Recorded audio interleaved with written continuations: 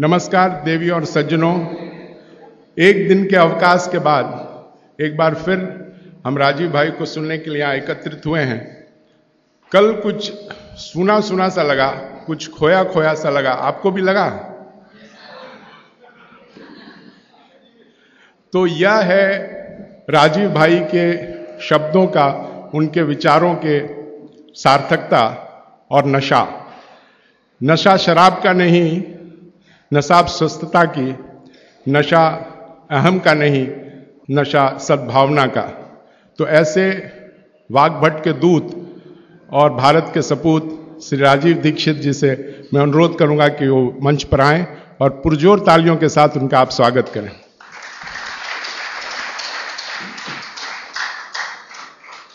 पिछले सात आठ दिनों में हमने जो कुछ भी सुना राजीव दीक्षित भाई से और जो कुछ भी हमने ग्रहण किया उसके कृतज्ञता में हमारे पास व्यक्त करने के लिए शब्द नहीं है और न ही ऐसा कोई उपहार है जो हमें भेंट स्वरूप देकर उस बहुमूल्यता को हम आंक सके।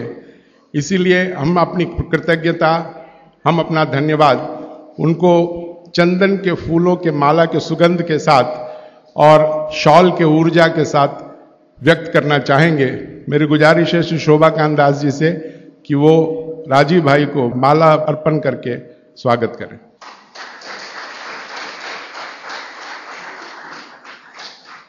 रमेश भाई लोढ़ा शॉल उड़ाकर उनको सम्मानित करेंगे।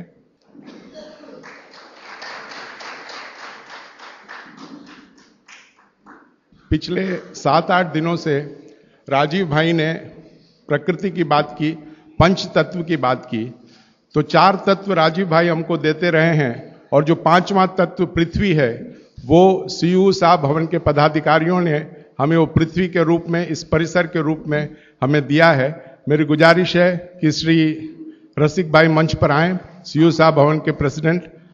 श्री शोभाकांत जी, उन्हें माला पहनाकर स्वागत करेंगे। राजीव भाई राजीव भाई उन्हें शॉल उड़ाकर उन्हें सम्मानित करेंगे।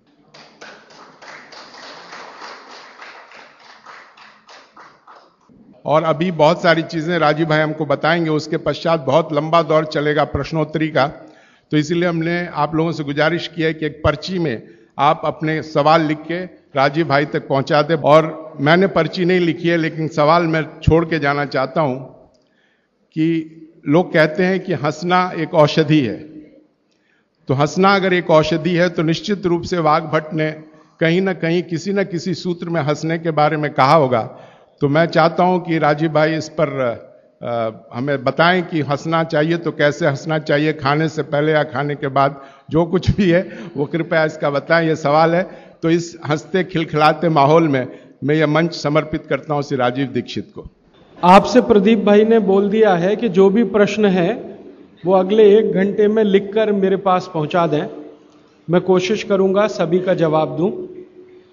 कुछ प्रश्न आए हैं, कुछ और आप भेज सकते हैं। और आपको आज के बाद और प्रश्न पूछने हो तो कभी भी पत्र लिखकर ईमेल के द्वारा आप प्रश्न कर सकते हैं। मेरा नाम और पता हर किताब में बाहर है। पुस्तक में से पता आप नोट कर सकते हैं। ईमेल है, फ़ोन है, उस पर आप कभी भी प्रश्न कर सकते हैं। और चूँकि एक प्रश्न आ गया है, वहाँ मैं पहले बता दूँ, क्योंकि वो थोड़ा विषय से हटकर है किसी ने पूछा है कि क्या आप इलाज भी करते हैं? हाँ, करता हूँ, लेकिन बिना फ़ीस के। इलाज भी करता हूँ। आप कभी इलाज की दृष्टि से भी पूछना चाहें, प्रश्न तो कर सकते हैं। ज़्यादा कोशिश मैं आयुर्वेद से करता हूँ इलाज करने की, और अगर मैं महसूस कर लेता हूँ कि कॉम्प्लिकेशंस कुछ ज़्यादा हैं तो थोड़ा होम्योपैथी की मदद लेता हूँ। एलोपैथी को कभी भी टच नहीं करता। अभी प्रदीप भाई ने जो प्रश्न किया, वहाँ से मैं शुरू करूँ। बागवट जी कहते हैं कि हमारे शरीर में कुछ वेग हैं, वेग, गति मूवमेंट स्पीड कुछ वेग हैं। और उन वेगों के नाम हैं कुछ। उनके बारे में उनका यह कहना है, एक सूत्र है और उस पर पूरा अध्याय है, एक ही सूत्र पर पूरा अध्याय है। वो ये कहते हैं कि जब ये वेग आए शरीर में तो कभी भी नहीं रोकना चाहिए। कभी भी रोकना नहीं चाहिए। ऐसे कुछ वेग हमारे शरीर में हैं। उनमें से एक है हँसी। अगर आपको सहज रूप से हँसी आ रही है तो बिल्कुल मत रोकिए। खूब ज़ोर से खिलखिलाकर हंसिए। अगर हँसी आ रही है अब आप पूछेंगे, ये हँसी आती कैसे? है ये जो हँसी है, इसके बारे में बागवट जी ने बहुत विस्तार से व्याख्या की है कि ये शरीर के अंदर कुछ रसों का प्रभाव है। आज की भाषा में हम अगर कहें तो कुछ एंजाइम्स हैं और कुछ हार्मोन्स हैं, जिनके चलते ये हँसी आती है। और ये एंजाइम्स और हार्मोन्स शरीर की अलग अलग ग्रंथियों से उत्पन्न होते हैं। जैसे हमारे शरीर में, ये मस्तिष्क में एक पीनियल ग्लैंड है। उसमें से जो रस उत्पन्न होता है, मैं रस ही शब्द इस्तेमाल करूँगा, हार्मोन्स और एंजाइम्स में कंफ्यूजन हो जाता है। तो पीनियल ग्लैंड में जो रस उत्पन्न होता है, ये बहुत मदद करता है हंसने में। आप बोलेंगे, जी, हँसते समय ही ये पैदा होता है? हाँ। लेकिन इसके बारे में भागवती जी ये कहते हैं कि पहले ये रस पैदा होगा, बाद में हँसी आएगी। ये रस कहाँ से पैदा होता है? तो कहते हैं भावना से। आपकी भावना है तो ये रस उत्पन्न होगा और ये सेकंड्स में होता है। सेकंड्स के फ्रैक्शन में होता है। कोई भावना आपकी ऐसी बनी, रस उत्पन्न हुआ, तुरंत आपने हंस दिया। तो वो कहते हैं, हँसी आए तो कभी भी नहीं रोकना चाहिए। लेकिन आगे का सूत्र है जो बहुत महत्व का है। ज़बरदस्ती कभी भी नहीं हंसना चाहिए। ज़बरदस्ती कभी भी नहीं हंसना चाहिए, क्योंकि उस समय जो आप हंसेंगे, वो मैकेनिकल हँसी होगी। मैकेनिकल आप समझते हैं, यांत्रिकी, जिसमें रस नहीं होगा, भाव नहीं होगा, आप सिर्फ़ हंसेंगे। तो कहते हैं, बिना भाव और बिना रस की जो हँसी है, वो शरीर को कोई लाभ नहीं देगी। अब मैं आता हूँ थोड़ा, आपको समझ में आए इस दृष्टि से। आजकल भारत में बहुत जगह लाफिंग क्लब्स चलते हैं। आप भी हो सकता है जाते हो। तो लाफिंग क्लब्स में जो हँसी है, वो पूरी तरह से यांत्रिक है मैकेनिकल है। वो कहते हैं, मुँह फाड़ के हंसो, हा हा हा हा हा। इसमें ना रस है, ना भाव है। वो कहते हैं, हँसते समय रस भी होना चाहिए, भाव भी होना चाहिए। हाँ, ये ज़रूर है कि उस लाफिंग क्लब में आपको कोई जोक सुनाकर हंसाई, हँसी आती है। या उन्होंने कोई एक्टिंग की और उस पर आपको हँसी आती है, वो ठीक है। आपको लाफिंग क्लब में किसी ने जोक सुनाया, मज़ाक किया, आपको हँसी आई तो उसमें रस भी होगा, भाव भी होगा। लेकिन ये मुँह फोड़, मुँह खोल के हा हा हा हा करेंगे, ना रस होगा, ना भाव होगा। तो इससे बचें, क्योंकि इससे तकलीफ़ आएगी फिर। बिना रस और बिना भाव की जब हँसी आप हंसेंगे तो पेट में दर्द होगा। और पेट में दर्द होगा तो वो कोई तकलीफ़ की स्थिति भी बना सकता है। जैसे कई बार आपने सुना है, हमारी नस पे नस चढ़ गई। बिना भाव और बिना रस की हँसी में पेट की नस पे नस चढ़ सकती है। और वो चढ़ गई तो डॉक्टर उतार नहीं पाता उसको। फिर कहेगा, जी, ऑपरेशन करा लो। कॉम्प्लिकेट हो गई है। तो बिना रस और बिना भाव की हँसी कभी भी ना हंसें, लेकिन रस और भाव के साथ हँसी आ रही है तो बिल्कुल ना रोकें, ज़रूर हंसें। बात आपको स्पष्ट हुई? आपको स्वाभाविक रूप से कोई दृश्य देखकर, कोई बात सुनकर, किसी की क्रिया देखकर हँसी आ रही है तो रोकना मत, खूब हंसना उसको। और बिना भाव, बिना रस, बिना क्रिया के कोई हँसी करने की कोशिश कभी आप करना मत। वो कहते हैं कि सम में रहिए, मध्य मार्गी बनिए। हमेशा हर जगह वो कह रहे हैं, मध्य मार्गी रहिए। ना इस एक्सट्रीम पे जाइए, ना उस एक्सट्रीम पे जाइए। क्यों? तो वो कहते हैं कि भारत एक ऐसी भूमि है जो मध्य मार्गियों की ही है। भारत एक ऐसी भूमि है जो मध्य मार्गियों की ही है। आप ना इस एक्सट्रीम पे जा सकते हैं, ना उधर। अगर इसको आज की भाषा में कहूँ, ना ज़्यादा लेफ़्ट जाइए, ना ज़्यादा राइट जाइए। सेंटर में रहिए। बीच में रहिए। और कृष्ण भगवान गीता में बार बार यही कह रहे हैं, ना ज़्यादा भोगी बनो, ना ज़्यादा त्यागी बनो, मध्य मार्गी रहो।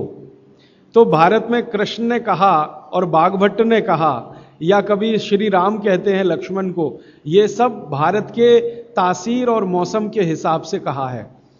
आप जो हैं अगर यूरोप में हैं और अमेरिका में हैं तो आइदर लेफ़्ट और आइदर राइट जाने के लिए छूट है, भारत में नहीं। तो इसलिए हँसी के मामले में भोजन के मामले में, क्रियाओं के मामले में, किसी भी मामले में, ना तो लेफ़्ट जाइए बहुत, ना तो राइट जाइए, बीच में रहिए। तो हँसी के बारे में भी उनका यही है कि यांत्रिक हँसी माने एकदम एक्सट्रीम लेफ़्ट कभी भी मत करिए। और हँसी को रोकिए भी मत, वो एक्सट्रीम राइट बीच में रहिए। आई तो हंस लिए। ये तो हमेशा नियम के रूप में है। और यही नियम आगे भी है वो कहते हैं, हँसी को रोकिए मत, ये एक वेग है। कभी भी मत रोकिए। इसी तरह से दूसरा एक वेग है, छींक। कभी मत रोकिए इसको। लेकिन ज़बरदस्ती छींकने की भी कोशिश मत करिए। छींक आए तो रोकिए मत, ज़बरदस्ती छींकने की कोशिश मत करिए। ज़बरदस्ती कोशिश अगर करेंगे तो उन्होंने एक सूची दिया है बागवट जी ने, कि तेरह चौदह रोग आएँगे आपको। अगर ज़बरदस्ती छींक लेंगे तो। इसलिए छींक आ रही है, सहज रूप से छींकिए, रोकिए मत उसको। ये एक वेग है। इसको रोकेंगे तो तेईस चौबीस रोग होंगे। ज़बरदस्ती छींकने की कोशिश करेंगे तो तेरह चौदह के आसपास रोग होंगे। उन रोगों की पूरी सूची है, आप पढ़ सकते हैं पुस्तक। इसी तरह से एक वेग है प्यास। प्यास एक बहुत बड़ा वेग है। भागवत जी कहते हैं कि जब प्यास लग रही है, पानी ज़रूर पीजिए, रोकिए मत प्यास को। लेकिन पीने का तरीका है, वो ध्यान रखिए, सिप सिप करके पीना है। बहुत तेज प्यास लगे तो भी सिप सिप करके ही पीजिए। जल्दी जल्दी पानी कभी भी पीने की कोशिश मत करिए। और वो कहते हैं कि ये जो जल्दी पानी पीने का तरीका है ना, इसमें से दो बीमारियाँ बहुत होंगी। एक जिसको आधुनिक भाषा में कहते हैं हरनिया भागवत जी ने उसको कहा है, आंत का उतरना। आज की भाषा में कहते हैं, हरनिया। और दूसरा एक बीमारी है एपेंडिसाइटिस पानी को जल्दी जल्दी जल्दी जल्दी पीने में ये दो बीमारियाँ सबसे ज़्यादा है। हरनिया एपेंडिसाइटिस और अगर उम्र बढ़ गई है आपको, उम्र बढ़ गई माने 60 वर्ष के ऊपर और आप पानी इसी तरह से जल्दी जल्दी पी रहे हैं तो हाइड्रोसिल की बीमारी भी होगी प्रोस्टेट की भी प्रॉब्लम आ सकती है। इसलिए पानी हमेशा पीने का नियम ध्यान रखिए, सिप सिप। लेकिन जब भी प्यास आए तो पानी पीजिए, प्यास को रोकिए मत। एक ही जगह उन्होंने कहा है कि बिना प्यास के पानी पीजिए, वो सवेरे का है। ऊषा पान के पानी की जो बात उन्होंने कही है कि सवेरे का समय, ब्रह्म मुहूर्त का समय, ब्रह्म मुहूर्त हमेशा सूर्योदय से डेढ़ घंटे पहले का माना जाता है। तो ब्रह्म मुहूर्त का समय ज़रूर पानी पीजिए बिना प्यास के। वही एक समय उन्होंने कहा है कि बिना प्यास के पानी पी सकते हैं। बाकी कभी भी पूरे दिन में उन्होंने कहा है कि प्यास लगे तो ज़रूर पानी पीजिए। बस नियम वही है कि खाने के तुरंत बाद मत पीजिए। अगर खाने के तुरंत बाद प्यास लगी है तो छाछ पीकर, मट्ठा पीकर, दूध पीकर या जूस पीकर प्यास बुझाइए। और डेढ़ घंटे के बाद आप पानी पीकर प्यास बुझाइए। तो प्यास एक वेग है, इसको रोकिए मत। नहीं तो क्या होगा? प्यास रोकने से लगभग उन्होंने सूची बनाई है, अट्ठावन रोग हैं। अगर प्यास रोकी आपने। जब प्यास लगी है और आप नहीं पी रहे हैं पानी तो अट्ठावन रोग आएँगे। इसलिए वो कहते हैं कि ये आप कभी मत करिए। अच्छा दूसरी तरफ़ एक बात और कहते हैं कि ऊषा पान के समय को छोड़कर बाकी किसी भी समय में ज़बरदस्ती पानी पिएँगे तो भी तकलीफ़ आने वाली है। हर जगह वो कहते हैं, मध्य मार्ग ही रहिए, ना इधर जाइए, ना ज़्यादा उधर जाइए। तो ये प्यास का एक वेग है। ऐसे, हाँ हाँ हाँ, आगे वो कह रहे हैं कि पानी जब भी पीना हो आपको तो हमेशा बैठ के ही पीजिए। खड़े खड़े पानी पीने को पूरी तरह से निषेध किया उन्होंने। हमेशा बैठ के पानी पीजिए। और बैठने के दो तरीके सबसे अच्छे हैं। उकड़ू बैठना, गाय का दूध निकालने वाले आसन में बैठना, नहीं तो ऐसे बैठना जैसे मैं बैठा हूँ। कुर्सी पे बैठ के भी पानी पीने को मना किया। वो अर्ध बैठने की स्थिति होती है। आप पूरे नहीं बैठते हैं। हाँ, लेकिन कुर्सी पर बैठ के पानी पीना तो मैंने आपको बता दिया, ऐसे आलती पालती मार के कुर्सी पर बैठ जाइए, फिर पीजिए। आगे का एक वो वेग को रोकने के लिए वो कहते हैं बहुत ही खतरनाक वेग है जिसको आपने रोका तो बहुत तकलीफ़ आएगी। अब उसमें आप बहुत सारे तर्क और आ, सवाल कर सकते हैं। भूख। भूख।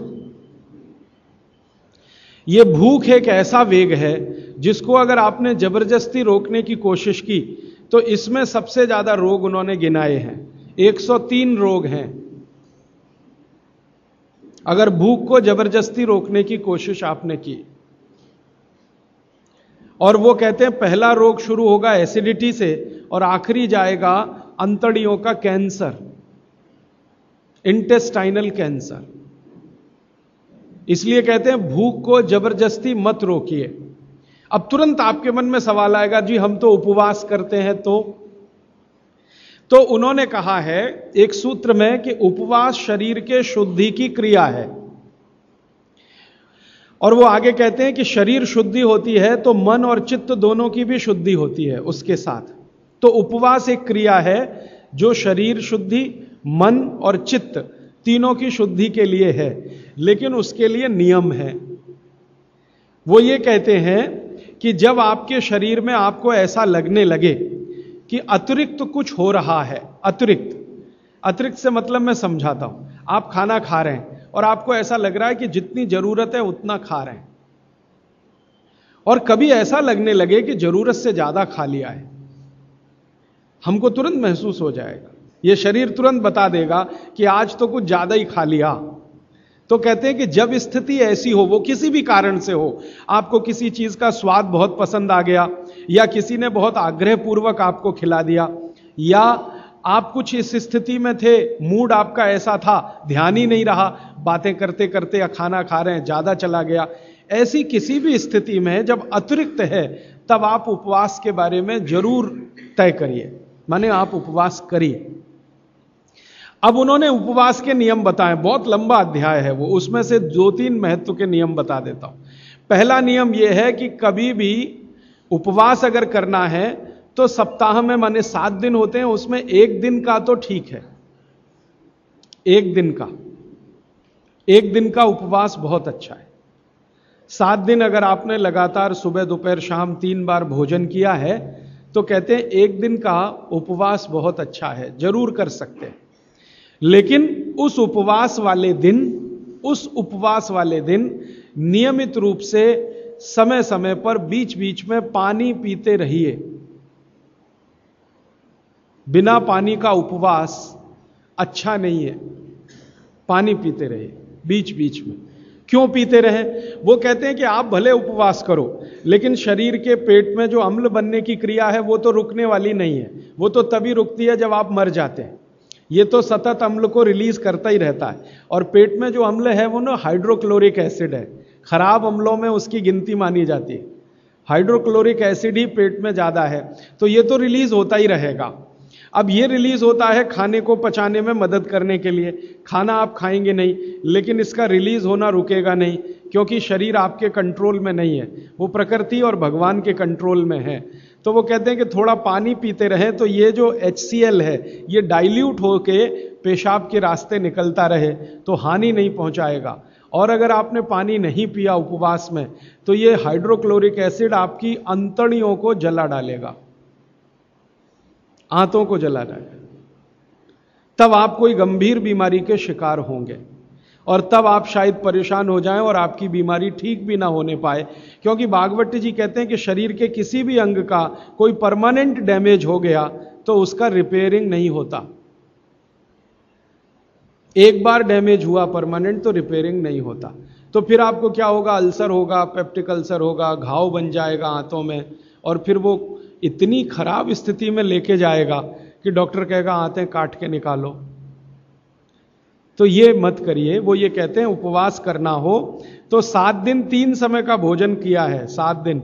माने छह दिन। तो सातवें दिन आप एक दिन उपवास करिए, लेकिन थोड़ा थोड़ा पानी पी पी के उपवास करिए। मतलब ये है, दूसरे शब्दों में मैं कहूँ, निर्जला उपवास मत करिए। अब हमारे यहाँ कई जगह मैंने देखा, दुर्गा माता का समय आएगा तो हम सब बहुत बार सात दिन निर्जला उपवास करते सात दिन लगातार। वो तकलीफ़ देगा आपको। आप करते हैं, भक्ति भाव से बहुत अच्छा है, लेकिन वो तकलीफ़ दे दे आपको शारीरिक रूप से। वो ठीक नहीं है। भागवत जी ने एक बहुत सुंदर सूत्र लिखा है। उन्होंने ये लिखा है कि जो शाकाहारी खाना खाने वाले लोग हैं, शाकाहारी, आप सब ज़्यादातर उसी श्रेणी के हैं। इनके लिए उपवास अच्छा नहीं है, ज़्यादा लंबा। लेकिन जो मांसाहारी खाना खाते हैं, उनको लंबे उपवास करने ही चाहिए। मांसाहारी खाना खाते हैं, उनको लंबे उपवास करने ही चाहिए। शाकाहारी खाना खाते हैं उनको ज़्यादा लंबे उपवास अच्छे नहीं है। अब ये उन्होंने लिख दिया, मैंने इसको फिर ऑब्ज़र्व करना शुरू किया। प्रकृति में दो तरह के जानवर हैं, आप जानते हैं। कुछ हैं जो मांस ही खाएँगे, हिंसा करके ही अपना पेट भरेंगे, और कुछ हैं जो शाकाहारी हैं। गाय जैसे है, बकरी जैसे है, भैंस है, बैल है, चिड़िया है, ये सब शाकाहारी जीवों में गिनती होती है। लेकिन शेर है, चीता है लगड़ भग्गा है, लोमड़ी है कुत्ता है, ये ऐसे जीव हैं जो मांस भी खाते हैं और कुछ तो मांस ही खाते हैं, जैसे सांप है। बड़े से बड़ा सांप अजगर ले लो और छोटे से छोटा रसल्स, वाइपर या करेत ले लो, ये मांस ही खाते हैं। मेढक को खाएँगे, छिपकली को खाएँगे, केचुओं को खाएँगे, कुछ ना कुछ ऐसे जीवों को खाएँगे। लेकिन ये बड़े पक्के हैं नियम के, बाघ भट्ट का सारा कुछ इन्होंने ही सीखा है। हाँ अजगर को मैंने बहुत ऑब्ज़र्व किया। वो एक बार खा लिया, वो कुछ भी खा लेगा। एक बड़ी से बड़ी बकरी को खा जाता है। हाँ, इतना खा लेता अजगर, बकरे को खा लेगा, लेकिन खा लिया तो पंद्रह दिन उपवास ही करेगा। पंद्रह दिन उपवास करेगा। सोलहवें दिन ही दोबारा खाएगा फिर। तो बागवती जी कहते हैं कि नियम यह है कि अगर आप मांस खा रहे हैं किसी भी तरह का तो आप लंबे उपवास ज़रूर करें। अब फिर कारण वही है। वो ये कहते हैं कि ये जो मांसाहारी लोग हैं, इनका भोजन जो है, ये शरीर के अंदर के जो हाइड्रोक्लोरिक एसिड को रिलीज़ करने वाली ग्रंथियाँ हैं, इनको मंद करता है। मांस का जो पाचन है, उसमें से जो कुछ भी आपके शरीर को मिलने वाला है, वो आपके शरीर में एसिड रिलीज़ करने वाली जो ग्रंथियाँ हैं, उनकी क्रिया को मंद करेगा तो कम निकलेगा तो वो लंबे उपवास कर सकते हैं। शाकाहारी लोगों के लिए उन्होंने कहा है, लंबे उपवास ना करें। और कोई कारण से आप कर रहे हैं तो ये उनकी बात ध्यान में रखें बीच बीच में पानी पीते रहें। अब आप बोले, जी, पानी कैसा पिए? तो उस पानी के लिए 20-25 सूत्र लिखें। जैसे लौंग का पानी पिए लंबे उपवास अगर आप कर रहे हैं तो लौंग का पानी पिए, मूंग का पानी पिए। मूंग की दाल आप समझते हैं, उसका पानी बनाना आप सब जानते हैं। मूंग की दाल का पानी पिए, पानी में घी डाल के पिए। यह भागवत जी ने लिखा और किसी ने नहीं लिखा। दूध में घी डाल के पिए, ये तो चरक ने भी कहा है, सुश्रुत ने भी कहा है, पाराशर ने कहा है, निघंटू ने कहा है, बीसियों लोगों ने। पानी में घी डाल के पिए। ये बागवट जी का ही है। वो कहते हैं, लंबे उपवास कर रहे हैं तो पानी में घी डाल के घी माने गाय का घी, भैंस के घी का कहीं भी उन्होंने ज़िक्र नहीं किया। एक ही जगह किया है, जो पहलवान है, कुश्ती लड़ रहे हैं, वो भैंस का घी खाएँ। बाकी लोगों के लिए भैंस का घी नहीं है, गाय का घी। तो पानी में घी डाल के पिए, पक्का पानी पिए। पक्का पानी आप सब समझते हैं, उबाल के पानी बनाया हुआ। पक्का पानी बनाते समय आप जानते थोड़ा चूना भी डाला जाता है तो चूने का पानी पिए। ऐसे कर करके तेईस चौबीस सूत्र उन्होंने लिखे हैं। वो लंबे उपवास करने वालों के लिए हैं। माने आप में से जैन धर्म का पालन करने वाले लोग लंबे लंबे उपवास करते हैं तो उनके लिए है। लेकिन एक जगह बागवट जी कह रहे हैं कि उपवास करने का सबसे अच्छा तरीका एक है, अगर करना ही है तो आप लोग करते हैं, बियासना करते हैं एक दिन खाना एक दिन उपवास वो कह इसको क्या कहते हैं एक दिन खाना एक दिन उपवास वर्षितप यस माफ़ करिएगा गलत शब्द बोल दिया एक दिन खाना एक दिन उपवास एक दिन खाना एक दिन उपवास एक दिन खाना एक दिन उपवास इसको भागवत जी सबसे अच्छा मानते हैं लगातार छह दिन खाना और एक दिन उपवास वो कहते हैं ठीक है मजबूरी का काम है आप कर लीजिए लेकिन अगर आपको दिल से उपवास में उतरना ही है तो ये बेहतर है। एक दिन खाना, एक दिन तो वो कहते हैं कि थोड़े दिन में शरीर इसका आदि हो जाता है और फिर आपके शरीर में एसिड निकलने की क्रिया उसी के हिसाब से होती है। थोड़े दिन में। पहले कुछ दिन तकलीफ़ आएगी, लेकिन थोड़े दिन में आदि हो जाएगा। और शायद इसलिए जैन दर्शन में या जैन समाज में वर्षी तप करने वालों का बहुत महत्व है। बड़ा सम्मान किया जाता है। बहुत गाजे बाजे के साथ उनको मंच पर बिठा के मालाएँ डाल के वो शायद इसलिए है कि वो बहुत वैज्ञानिक काम कुछ कर रहे हैं। तो वो भूख के बारे में कह रहे हैं कि भूख का वेग ज़्यादा रोकना नहीं। अगर आप मेहनत और मजदूरी कर रहे हैं, तब तो कभी मत रोकना। भागवती जी कहते हैं कि जो खेत में काम करने वाले मजदूर हैं या किसान हैं, उनके लिए उपवास नहीं है। उनके लिए उपवास नहीं है। जो सड़क पे गाड़ी खींच रहे हैं, ठेला खींच रहे हैं, उनके लिए उपवास नहीं है। उपवास उनके लिए है जिनको शरीर श्रम ज़्यादा नहीं करना। उनके लिए, माने आपके लिए, मेरे लिए ज़्यादा उपवास बात है, मेहनत करने वालों को ज़्यादा उपवास नहीं। उनको तो जब भूख लगे, तभी खाना खाने के लिए बोला है। लेकिन वो कहते हैं कि खाने का समय तय कर लें तो भूख भी उसी के हिसाब से लगती है। सुबह का समय वो बोलते हैं सबसे अच्छा। दोपहर का उससे थोड़ा कम अच्छा और शाम का सबसे कम अच्छा। माने सुबह का नाश्ता या भोजन जैसा हो, दोपहर का लंच जो है नाश्ते जैसा हो, और रात का खाना तो बिल्कुल या कम से कम, शाम का खाना कम से कम हो, वो मैं पहले दिन आपको दूसरे दिन बता चुका और एक वेग के बारे में उन्होंने कहा जिसको रोकने की कोशिश कभी ना करें जमाई आना। जमाई समझते मुँह खोलकर आप जमाई ले। वो कहते हैं कि ये जो जमाई आने का समय है, इसको कभी भी रोके नहीं, ये कभी भी आएगी, ये कब आती है? जब भी आपके अब मैं आपका आधुनिक विज्ञान इसमें जोड़ रहा हूँ। बागवट जी ने जो कहा, वो आपको देर में समझ में आएगा, आधुनिक विज्ञान जल्दी समझ में आ जाएगा। ब्लड में ऑक्सीजन की मात्रा जब भी कम हो जाएगी, जमाई ज़रूर आएगी। एक्स्ट्रा ऑक्सीजन लेने के लिए।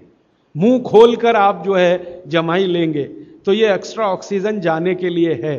तो वो कहते हैं कि जमाई को कभी ना रोकें। ये जो हम कर लेते हैं ना शर्म आने के लिए, ज़बरदस्ती मुँह बंद करके जमाई लेने की कोशिश करते हैं। बहुत खतरनाक। कभी मत करिए। मुँह खोलिए पूरा। क्योंकि आपके शरीर का आपको आदेश आ रहा है। मुँह खोलिए, भरपूर हवा अंदर भरिए तो ही अच्छा है। और बच्चों को भी वैसे ही सिखाइए। इसमें कोई शर्म करने की बात नहीं है, क्योंकि यह प्रकृति की क्रिया है। शरीर को दुरुस्त रखने के लिए है। जमाई ज़रूर लीजिए। और कई बार हम हाथ रख लेते हैं मुँह पे, ये बहुत ही खराब है, क्योंकि वायु को जाने से आप रोक रहे हैं। वो जमाई आ रही है ज़्यादा ऑक्सीजन के लिए। शरीर में शुद्ध वायु ज़्यादा जाए, इसके लिए जमाई आ रही है। और आपने मुँह पे हाथ रख लिया और फिर जमाई ले रहे हैं, ये बहुत खराब कभी मत करिए। मुँह खोलकर जमाई लीजिए। हाँ, फिर एक बात वो ये कह रहे हैं यहाँ पर जैन दर्शन की बात बहुत गहराई से समझ।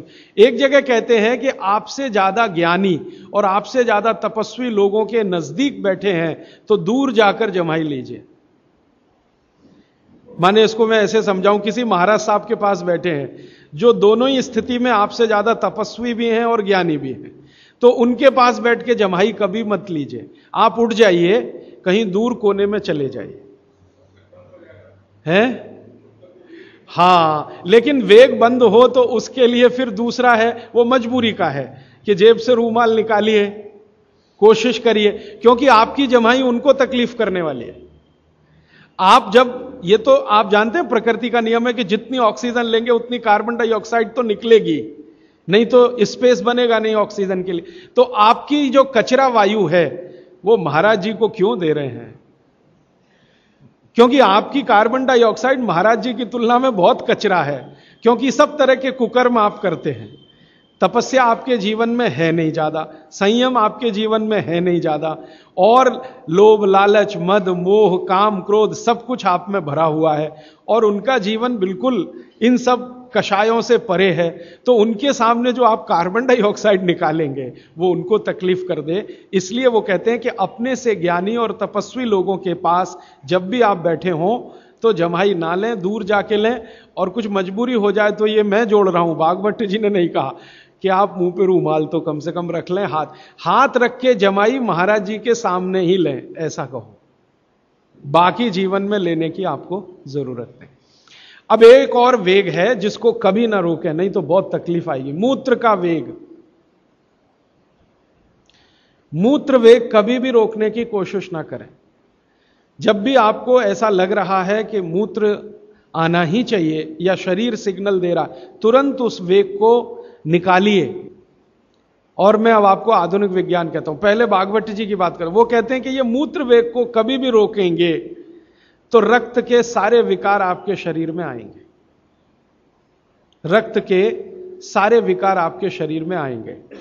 अब मैंने ये एक एक्सपेरिमेंट मेरे ऊपर कभी किया था कि मैं मूत्र का वेग रोकूं, फिर देखूँ क्या होता है। तो तुरंत मैंने महसूस किया कि शरीर पे दबाव बढ़ गया। प्रेशर बढ़ गया शरीर पर। शरीर के हर हिस्से पर प्रेशर बढ़ गया। फिर मैं तो मरीज़ का इलाज भी करता हूँ तो बहुत मरीज़ मेरे पास ऐसे आते हैं जिनको पेशाब नहीं आ रही है। तो सबसे ज़्यादा तड़प उनकी ज़िंदगी में मैंने तभी देखी है जब उनकी पेशाब रुक जाती है, मूत्र रुक जाता है। वो कहते, कुछ भी करो, ये रिलीज़ करो, क्योंकि ये रोकना ठीक नहीं है, इसलिए मूत्र के वेग को नहीं रोकें। इसमें हर तरह से दबाव शरीर पर पड़ेगा, सब तरह की ग्रंथियों पर दबाव बढ़ेगा रक्त पर दबाव बढ़ेगा, हर तरह से दबाव बढ़ेगा। तो मूत्र को रोकने की कभी भी कोशिश ना करें, जब आए तब जाएँ। अब आपके मन में एक प्रश्न आ सकता है कि जी बार बार मूत्र आए तो? हर दस मिनट में आए, हर आधा घंटे में आए, और एक दो बूंद आए, फिर नहीं आए, एक दो। तो आप समझिए कि कोई बीमारी के शिकार हैं आप। अगर खुलकर पूरा मूत्र आ रहा है तो कोई चिंता की बात नहीं है। लेकिन रुक रुक के आ रहा है दो तीन बूंद आया, फिर रुक गया, फिर दो तीन बूंद आया तो आप बीमारी के शिकार हैं। तो ऐसी स्थिति में आप किसी विशेषज्ञ की मदद लें। वो जो पंद्रह प्रतिशत वाला हिस्सा है ना, वो ये ही है। ऐसी स्थिति में किसी विशेषज्ञ की मदद लें और वो आपको मदद कर दे मूत्र को निकालने में तो बहुत अच्छा है। दवा की मदद से, औषधि की मदद से ये बहुत आसान है, बहुत संभव है। बहुत आसान है, बहुत संभव है। अब थोड़ा आगे बढ़ें। इसी तरह से वो कहते हैं, मल का वेग कभी ना रोकें। मूत्र है, मल। मल का वेग कभी ना रोकें। अगर आपको ऐसा लग रहा है कि टॉयलेट जाने की इच्छा है तो ज़रूर जाइए। सोचिए ही मत उसके बारे। आप बोलेंगे, जी, कोई परिस्थिति ऐसी है। मैं ऐसा मानता हूँ कि अब ऐसी कोई परिस्थिति है नहीं। ट्रेन में सभी जगह टॉयलेट रूम्स हैं। हवाई जहाज़ में सभी जगह टॉयलेट रूम्स हैं। आपके घर में तो है ही। यहाँ जहाँ भी बैठे हैं, वहाँ है। हो सकता है सड़क पर चलते समय तो सरकारों ने कई जगह बनाए हैं। माने कोशिश करिए कि वो रोके नहीं उस वेग को आप। अगर है ऐसी इच्छा तो ज़रूर जाइए। ज़रूर जाइए। फिर आप कहेंगे, जी, फिर वही मूत्र वाली स्थिति है। बार बार टॉयलेट आती है तो। तो बागवट जी ने कहा है कि एक दिन में दो बार अगर आप शौच के लिए जा रहे हैं तो यह सामान्य है, नॉर्मल है। माने आपको कुछ तकलीफ़ नहीं है। अगर एक दिन में दो बार आप जा रहे हैं, वो दो बार हो सकती है आपके शरीर के हिसाब से। हो सकता है सुबह और शाम आप जाएँ, कोई लोगों को सुबह और दोपहर भी हो सकती है, कोई लोगों को सुबह सुबह भी दो बार हो सकता है ऐसी स्थिति। तो वो कहते हैं, दो बार तक तो सामान्य है। तीन बार जब आप करेंगे दो से तीन तो वो कहते हैं थोड़ा असामान्य है। और तीन के बाद तो जाना ही नहीं है। अगर जा रहे हैं तो कोई बीमारी है। विशेषज्ञ की मदद लीजिए और उसको ठीक करें। तो मल के वेग को ना रोकें, मूत्र के वेग को ना रोकें, जमाई आ रही है तो ना रोकें, हँसी आ रही है तो ना रोकें प्यास लग रही है तो कभी भी अपने को ना रोकें। इस तरह के उन्होंने कई वेग के बारे में कहा। ऐसे लगभग चौदह वेग हैं। मैंने कुछ बता दिए, बाकी आप चाहें तो पढ़ लेना किताब में, क्योंकि समय कम है। हर बार मुझे यही लगता है कि क्या छोड़ूं, क्या बताऊँ।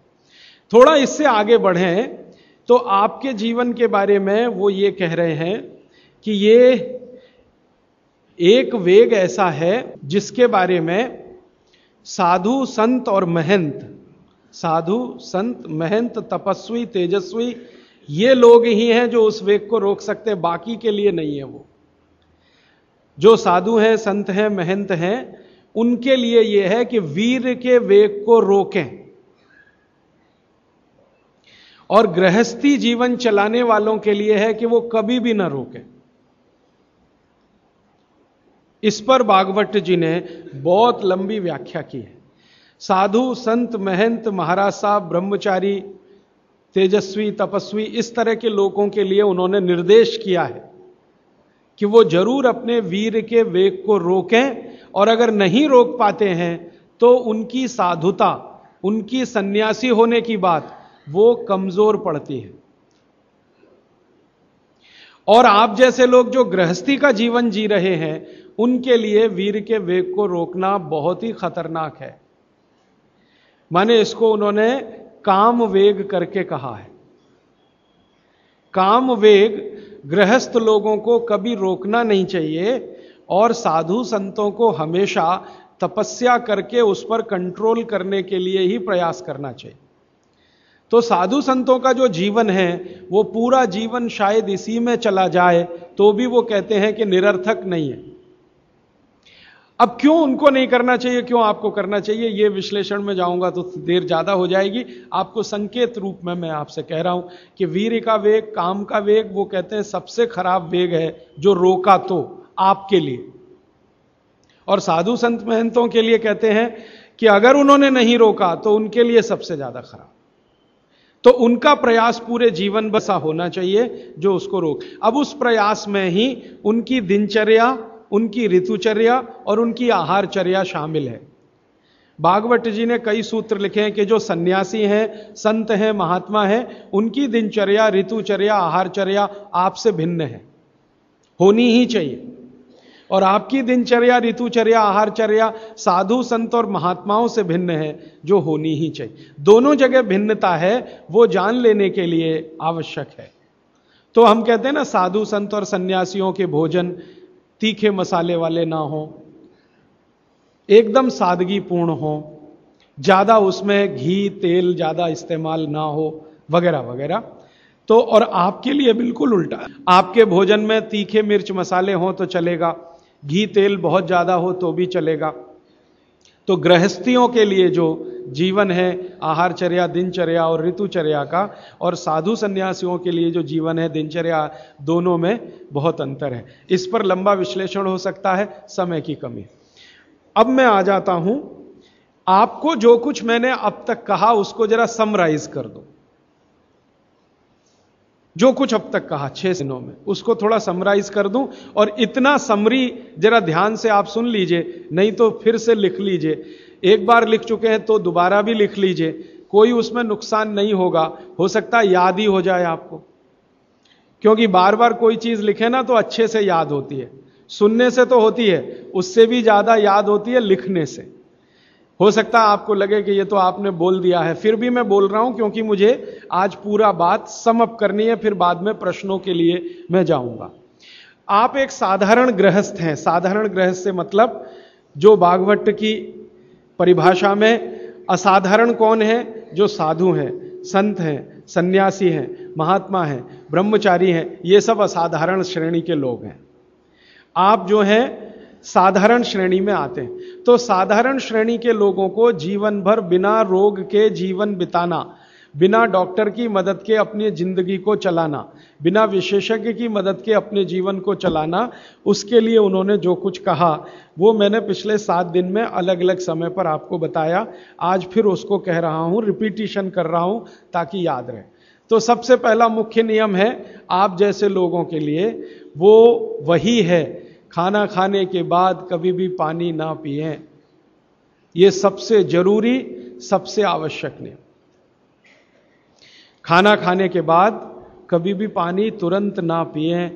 डेढ़ घंटे के बाद पानी पिए। एक्सप्लेनेशन में पहले दे चुका हूँ। अगर आप चाहें तो फिर समझा देता हूँ। खाना खाते ही पेट में अग्नि प्रदीप्त होती है। उसको जठर अग्नि कहते हैं। जठर पेट का वो स्थान है जहाँ काने पाचन होता है। हिंदी में उसको आमाशय कहते हैं, संस्कृत में जठर कहते हैं।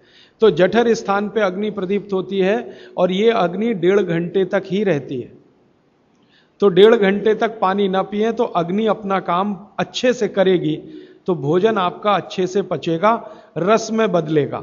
और मैंने आपको क्रिया बताई थी कि पहले खाना जो है ना, पेस्ट में बदलता है। जैसे आप घुटी हुई खिचड़ी खाते ना, खिचड़ी, वैसे खाना बनता है, वो डेढ़ घंटे में बनता है। फिर उसके बाद रस निकलता है। और जब रस निकलेगा, तब पानी की ज़रूरत है, क्योंकि बिना पानी के रस नहीं बनता। तो कहते हैं, डेढ़ घंटे के बाद पेट भर के पानी पिए। यह सबसे ज़रूरी, सबसे आवश्यक पहला नियम। दूसरा नियम, पानी कभी भी पिए तो घूट घूट भर के पिए। यह मैं बहुत आवश्यक नियम मानता हूँ सबके लिए, आप जैसे लोगों के। आप में से थोड़ा अगर किसी को भी धीरज हो धैर्य अपने जीवन में तो आप ये चालू कर दीजिए। पानी घूट घूट घूट। जितना कम से कम एक घूट में पानी पी सकें, उतना। और मुँह में घुमा घुमा के, ऐसे ऐसे कर करके आप छह महीने बाद देखना, छह महीने बाद। आपके शरीर की पूरी बायोकेमिस्ट्री बदल जाएगी। सबसे पहली चीज़ जो आप महसूस करेंगे, आप कहेंगे, मैं पहले से ज़्यादा फ्रेश हूँ। आप कहेंगे, मैं पहले से ज़्यादा हल्का हो गया। माने वज़न कम हो गया। आप कहेंगे पहले से अच्छी नींद आ रही है। आप कहेंगे पहले से अच्छा खाना हजम हो रहा है। आप कहेंगे पहले से ज़्यादा मेरे दर्द कम हो गए, जो घुटनों का, कमर का, कंधे का, जगह जगह। आप कहेंगे चक्कर आना बंद हो गए। आप कहेंगे सुबह सुबह उठकर सिर का दर्द कम हो गया। ऐसी पचासियों बातें आप खुद कहेंगे, छह महीने के बाद आप करिए इसको। मैंने तो कई लोगों को बताया, साल साल भर से कर रहे हैं, डेढ़ डेढ़ साल से कर रहे हैं। मैंने आपको एक उदाहरण दिया था, हमारा एक सहयोगी है कल बेंगलोर में 140 किलो का था, एक सवा साल से घूट घूट पानी पी रहा है, अभी 70 किलो का है। कोई आसन नहीं करता, कोई प्राणायाम नहीं करता, जिम में नहीं जाता, कोई एक्सरसाइज नहीं करता, क्योंकि उसको फुर्सत भी नहीं है। आईटी कंपनी में काम करता है, लेकिन ना ज़रूर करता, पानी जब भी पिएगा घूट घूट पिएगा खाने के डेढ़ घंटे बाद ही पिएगा। ये अद्भुत है। इस नियम को मैंने हज़ारों लोगों पे करके देखा है। एकदम एक्सीलेंट रिज़ल्ट है, कई बार तो चमत्कारिक रिज़ल्ट है। और कारण उसका क्या है? कारण उसका एक ही है कि घूट घूट पानी पीने से ज़्यादा लार पेट में जाती है। पेट को हमेशा लार की ज़रूरत है, क्योंकि यहाँ एसिड बन रहा है।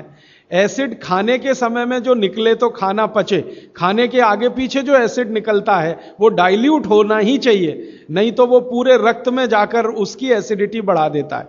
और वही एसिडिटी है जो आपको हार्ट अटैक लाती है कार्डियक अरेस्ट की तरफ़ ले जाती है ब्रेन हेमरेज करा देती है पैरालाइज्ड हो जाते हैं आप, गंभीर से गंभीर रोग, इसी एक नियम के ना होने से होते हैं। आप पानी गटागट गटागट जो पी रहे हैं, यही एक छोटी सी गलती ज़िंदगी में आपको सबसे भारी पड़ेगी। ठीक है? तो पहला नियम मैंने आपके लिए कि पानी खाने के डेढ़ घंटे बाद पीना, हमेशा पानी घूट घूट भर के घुमा घुमा के पीना है। सुबह का पानी हो या दोपहर का, शाम का, जब भी पिए, घूट घूट भर के पानी कैसे पिए? तो इन्होंने कहा, ऐसे करके पिए। ये अच्छा नहीं है, आपके लिए अच्छा नहीं। आपको पानी हमेशा पीना है तो शरीर के नज़दीक रख के ही पानी पिए। हमारे भारत में, मैं आपको एक बात ऐसी कहता हूँ जो थोड़ी सी हटकर है, लेकिन आपको समझाने में मदद करे। भारत में हज़ारों साल की जो सभ्यता है, गिलास नहीं है। ये गिलास जो है ना, विदेशी है। गिलास भारत का नहीं है। ये गिलास जो है ना, यूरोप से आया। और यूरोप में पुर्तगाल से आया। ये पुर्तगाली जब हमारे देश में घुस गए, तब से गिलास में हम फंस गए। गिलास अपना नहीं है, लोटा है, लोटा। लोटा और गिलास का अंतर आप, लोटा है और लोटा कभी भी एक रेखीय नहीं होता। वो ऐसे ऐसे ऐसे ऐसे होता है। तो भागवत जी कहते हैं कि जो बर्तन एक रेखीय हैं, उनका त्याज्य करें। वो है नहीं, अच्छे काम के नहीं है। तो गिलास का पानी पीना अच्छा नहीं माना जाता। तो लोटे का पानी पीना अच्छा माना जाता। है अब आप बोलेंगे, जी, क्या फ़र्क है? फ़र्क सीधा सा है, पानी के बारे में मैं बता चुका हूँ। पानी को जहाँ धारण किया जाए, वैसे गुण उसमें आते हैं। पानी अपने गुण कुछ नहीं है। जहाँ दे दो, वही गुण हो जाते हैं। दही में मिला दो तो छाछ में बन गया, वो दही का गुण ले लेगा। पानी खत्म हो गया। दूध में मिलाया तो दूध का गुण। तो लोटे में पानी जो रखा तो पात्र का गुण आएगा, लोटे का।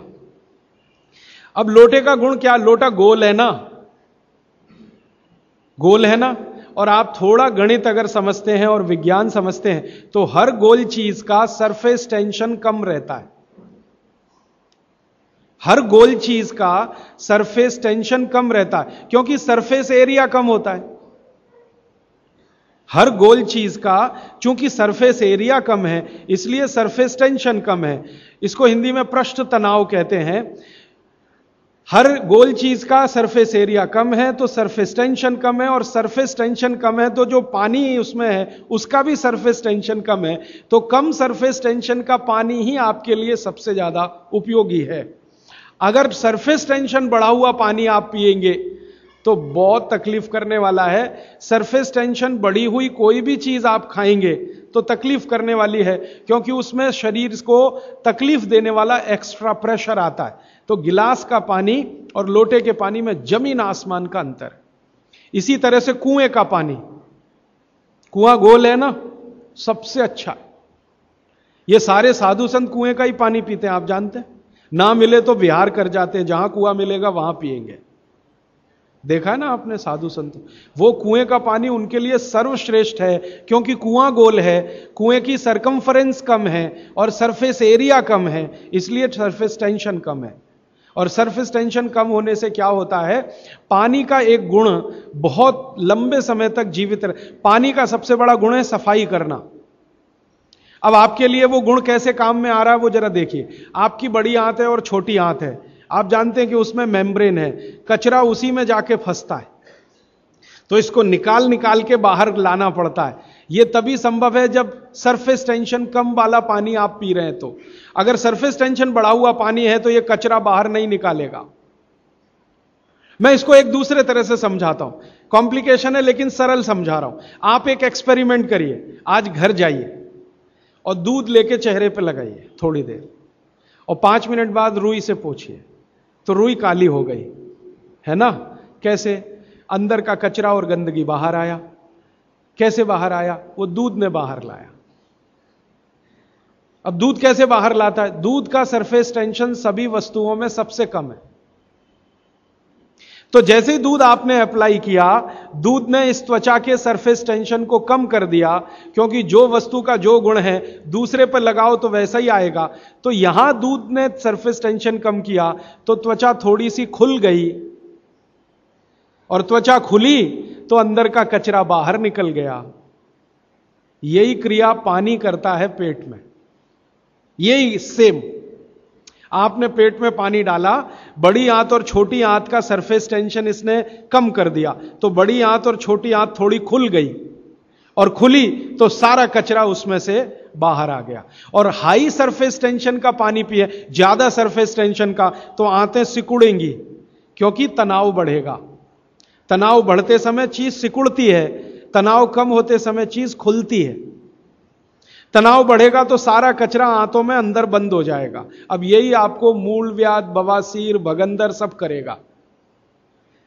इसलिए सरफेस टेंशन कम वाला ही पानी पीना। लोटे का पानी सबसे अच्छा माना जाता है। गोल कोई भी वस्तु आपके घर में है, उसमें रखा हुआ पानी पीना सबसे अच्छा माना जाता है। तो गोल कुएँ का पानी है तो बहुत अच्छा है। गोल तालाब का पानी हो, तालाब भी गोल होते हैं ना। तो गोल तालाब का पानी बहुत अच्छा गोल कुएँ का पानी बहुत अच्छा। तालाब से छोटी एक पोखर होती है, पोखर। अगर पोखर गोल है तो उसका पानी बहुत अच्छा। नदी के पानी की तुलना में हमेशा कुएँ का पानी अच्छा। क्योंकि नदी में गोल कुछ भी नहीं है, वो लंबी है।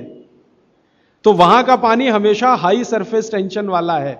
और नदी से ज़्यादा खराब समुद्र का। और सबसे अच्छा पानी लोटे का। लोटे जैसी कोई भी गोल चीज़ है तो अच्छा।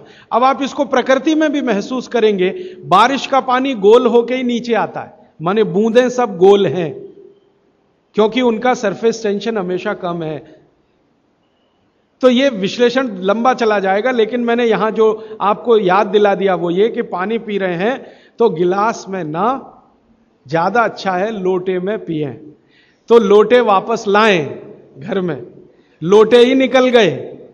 अब गिलास घुस गए और लोटे निकले ना तो लाखों कारीगरों की ज़िंदगी खत्म हो गई, जो लोटे बनाते थे। खत्म हो गए कि नहीं? कसेरे खत्म हो गए। गाँव गाँव में कसेरा शब्द समझते हैं? वो ठोक पीट के लोटा बनाने वाले आदमी को कसेरा कहते हैं। वो पीतल के लोटे बनाते थे, कांसे के लोटे बनाते थे, सब मर गए बेचारे हमारे गिलास के चक्कर में। तो बागवट जी को अगर मानना है तो लोटा लाए गिलास थोड़े कम करें, पानी लोटे का बहुत अच्छा। आगे बढ़े, पानी कभी भी खड़े होकर ना पिए, ये मैंने पहले बता दिया है, फिर रिपीट कर रहा हूँ, हमेशा बैठ के पिए। फिर उसके आगे का एक सूत्र है कि ठंडा पानी कभी ना पिए, और इस ठंडे पानी का ये यहाँ पर भी एक विश्लेषण में नया दे दूँ आपको कि हर ठंडे पानी का सरफेस टेंशन बढ़ा हुआ होता है। हर ठंडे पानी का सरफेस टेंशन बढ़ा हुआ होता है। और हर गुनगुने पानी का सरफेस टेंशन कम होता है। और कम सरफेस टेंशन का ही पानी आपको पीना है, इसलिए ठंडा पानी ना पिए। एक विश्लेषण में पहले दे चुका हूँ कि पानी जैसे ही आप ठंडा पिएँगे, उसका गुण है कि वो हर चीज़ को ठंडा करे। तो पेट को ठंडा करने की वो कोशिश करेगा। पेट ठंडा हुआ तो सारे ऑर्गन्स ठंडे हो सकते हैं और आप मर सकते हैं। तो पानी को पेट गर्म करेगा, फिर आप ये जान लीजिए। और पेट पानी को गर्म करेगा तो अतिरिक्त ऊर्जा लगेगी उसको। और वो ब्लड में से ही आएगी। तो सारा ब्लड पेट की तरफ़ दौड़ेगा। और बार बार आप ठंडा पानी पी रहे हैं, दिन में आठ दस बार तो हर बार ब्लड को पेट में भागना ही पड़ेगा। तो ब्रेन को ब्लड कम होगा हार्ट को ब्लड कम होगा ऑर्गन्स को ब्लड कम होगा तो वो कमज़ोरी आने ही वाली है और हार्ट अटैक आ सकता है ब्रेन हेमरेज हो सकता है। क्योंकि कोई भी ऑर्गन को ब्लड कभी भी कम नहीं पड़ना चाहिए, तभी आप दुरुस्त रहने वाले इसलिए ठंडा पानी गलती से भी ना पिए तो हमेशा कैसा पानी पिए? गुनगुना पिए। एक समय के लिए बागवट जी ने कहा है कि जब बहुत तेज गर्मी पड़ती हो, आपके यहाँ तो पड़ती है, मार्च, अप्रैल, मई, जून तो वो कहते हैं कि मिट्टी के घड़े का पानी पिए। मिट्टी के घड़े के पानी को गुनगुना करने की ज़रूरत उतनी नहीं है, क्योंकि मिट्टी से ज़्यादा शुद्ध पानी को करने वाली दूसरी कोई वस्तु दुनिया में नहीं। तो ये, अब थोड़ा आगे चलें। आगे चलें वो ये कि खाना जब भी खाएँ, आपके लिए नियम है। स्टैंडिंग पोजीशन, माने खड़े होके कभी ना खाएँ, हमेशा बैठ के खाएँ। बैठने की स्थिति ये सबसे अच्छी है। कुर्सी पे भी अगर मजबूरी में बैठ रहे हैं तो इसी स्थिति में बैठ के खाना खाएँ। नहीं तो ज़मीन पे तो बहुत ही अच्छा है। फिर उसके बाद एक नियम जो आपको ज़रूर पालन करना चाहिए, बहुत आवश्यक है आपके लिए कि दो विरोधी वस्तुएँ साथ में कभी ना खाएँ। आप जैन हैं तो आपको तो सब अच्छे से समझता। भक्ष और अभक्ष का ज्ञान सभी साधु महाराज देते हैं, साध्वी जी देते हैं। दूसरे लोगों के लिए कह दूँ, दूध और दही साथ में नहीं खा सकते, विपरीत हैं। हालाँकि दूध से ही दही बनता है, लेकिन दूध और दही की प्रकृति एकदम माने एकदम अलग है। दूध कुछ और काम करता है, दही बिल्कुल अलग काम। तो दूध दही साथ में ना खाएँ। दूध और दही की बनाई हुई कोई भी वस्तु साथ में ना खाएँ। खीर खा रहे हैं तो दूध की है तो कढ़ी नहीं खा सकते। कड़ी खा रहे हैं तो दही की है तो खीर नहीं खा सकते। कुछ भी ऐसी वस्तु जिसमें दूध और दही उपयोग है, वो साथ में नहीं। एक इसी तरह से शहद और घी आपके लिए बिल्कुल वर्जित है। आप बिल्कुल साथ में ना खाएँ। शहद अलग खाएँ, घी अलग खाएँ। शहद ना खाएँ तो भी चलेगा, गुड़ खाएँ। अच्छा यह बड़ी विचित्र स्थिति है। गुड़ और घी साथ में ज़रूर खाएँ। शहद, घी साथ में ना खाएँ। गुड़ को बेहतर तरीके से अगर खाना चाहते गुड़ तो वैसे ही सबसे बेहतरीन चीज़ है दुनिया की। लेकिन और बेहतर बनाना चाहते हैं तो उसमें ज़रूर घी मिला के खाएँ। तो गुड़ घी चलता है, शहद घी नहीं कभी भी। इसी तरह का एक नियम है कि जैक फ्रूट माने फणस, कटहल, दूध के साथ सबसे खतरनाक है। और मैंने कहा, खट्टे फल जितने भी हैं, संतरा है, मुसम्मी है, वगैरह वगैरह, ये दूध के साथ बिल्कुल नहीं चल सकते। एक ही फल है बागवटे जी कह रहे हैं, जो खट्टा भी है और दूध के साथ ज़रूर खाएँ, वो आंवला है। आंवला। ये ज़रूर दूध के साथ खाएँ।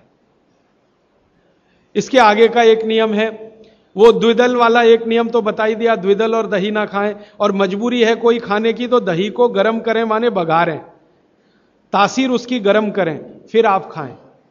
नहीं तो ना ही खाएँ तो अच्छा है। द्विदल खा रहे हैं तो एक डेढ़ घंटे बाद दही खाएँ। छाछ अगर खा रहे हैं द्विदल के साथ तो एक आध घंटे के बाद पी लें। और अगर पीनी ही है तुरंत, प्यास नहीं रुक रही है तो छाछ को बघारें माने उसमें अजवाइन हो, थोड़ा जीरा हो, हींग हो, उसका छोंक लगाएँ तो उसकी तासीर बदलती है तो आप ले सकते हैं। और इसके आगे का एक नियम कि सुबह का खाना साढ़े नौ दस बजे तक, क्योंकि उस समय जठर अग्नि सबसे ज़्यादा तीव्र है, और शाम का खाना पाँच छह बजे तक। यह मैंने आपके हिसाब से कैलकुलेशन किया। बागवट जी ने कहा, इसमें जलवायु का, मौसम का ध्यान रखना है। तो आपके हिसाब से माने आप चेन्नई में हैं तो नौ, साढ़े नौ, दस बजे तक भरपेट खाना खाएँ, शाम को पाँच, छह बजे तक भरपेट खाएँ। बीच में अगर आप कहते हैं, जी, भूख लगी तो तो कुछ फल खा लें। नहीं तो अच्छी चीज़ बागवट जी ने जो कही है, सुबह का खाना जो नौ, दस बजे खाएँ, शाम का पाँच, छह बजे, उनको बीच में भूख लग रही है तो कहते हैं, चना और गुड़ खाएँ। शेंग दाना और गुड़, माने मूंगफली और गुड़ खाएँ। माने उस समय आप चिक्की खाएँ। क्योंकि गुड़ और चना, गुड़ और मूंगफली उसमें है। दोपहर को अगर भूख लग रही है, चिक्की आप चाहें तो अच्छी भी खा सकते हैं, माने ज़्यादा भी खा सकते हैं। बस एक ही तकलीफ़ ध्यान में रखें कि जब चिक्की और गुड़ ज़्यादा हो जाए तो थोड़ी सोंठ चाट लें या थोड़ी सोंठ खा लें तो उसका जो तासीर है, वो तुरंत बदल जाता है। नहीं तो ज़्यादा चिक्की खा ली तो नाक में से खून आ सकता है। तो नाक से खून ना आए, थोड़ी सोंठ या अदरक सोंठ इस्तेमाल करते हैं तो सोंठ नहीं तो अदरक उसके साथ ले फिर आगे बागभट्ट जी कहते हैं कि आपके भोजन का, आपके जो वातावरण से बहुत रिश्ता है, आप जिस वातावरण में रह रहे हैं, उसका ध्यान हमेशा रखें। अब मान लीजिए आप मद्रास में रह रहे हैं तो मद्रास के आसपास का जो वातावरण है यह गर्म है। गर्म वातावरण में गेहूँ नहीं हो सकता। गेहूँ को होने के लिए ठंड चाहिए। तो निश्चित रूप से चेन्नई के आसपास किसी खेत में गेहूँ अच्छा होगा नहीं। कोशिश करेंगे तो तब अच्छा होगा जब ठंड बढ़ जाए, क्योंकि गेहूँ ठंड की फ़सल है, गर्मी की नहीं। गर्मी की फ़सल जो है वो चावल है, धान है। चावल है, बाजरा बहुत गर्मी की फ़सल है। ये राजस्थान में रहने वाले सब लोग जानते हैं, कितनी गर्मी है राजस्थान में, और वहीं बाजरा सबसे अच्छा होता है। कच्छ में, सौराष्ट्र में कितनी गर्मी है? बाजरा सबसे अच्छा वहीं होता है। तो गर्मी की जो फ़सलें हैं, वो धान है, बाजरा है और जौ है, जवारी है। जवारी आप समझते ज्वार ज्वार। तो ये सब आपके लिए अच्छे हैं, यहाँ। चेन्नई में आप रहते हैं ना, ज्वार की रोटी खाएँ, बाजरे की रोटी खाएँ, गेहूँ की कम। ना खाएँ तो भी चलेगा। जो यहाँ हो रहा है, वो ज़्यादा खाएँ। अब आप बोलेंगे, गर्मी में भी बाजरे की रोटी खाएँ। ना खाएँ, क्योंकि बाजरा वैसे तो गर्म है, लेकिन गर्मी में भी खाना है। मान लो आपको स्वाद है, छूट नहीं रहा है, जगह छूट गई है, स्वाद नहीं छूटता। मन हमारा अभी भी राजस्थान में है, या कच्छ में है, या सौराष्ट्र में। कुछ मजबूरी है कि हम यहाँ रह रहे हैं। अगर ये मजबूरी खत्म हो जाए तो आप सब भागेंगे यहाँ से। मजबूरी कैसी, कच्छ में, सौराष्ट्र में इतना ही पैसा आ जाए। तो आप सब चले जाएँगे। क्योंकि मन जो है ना, छूटता नहीं है, स्थान से लगा रहता है, स्वाद मन के साथ जुड़ा हुआ।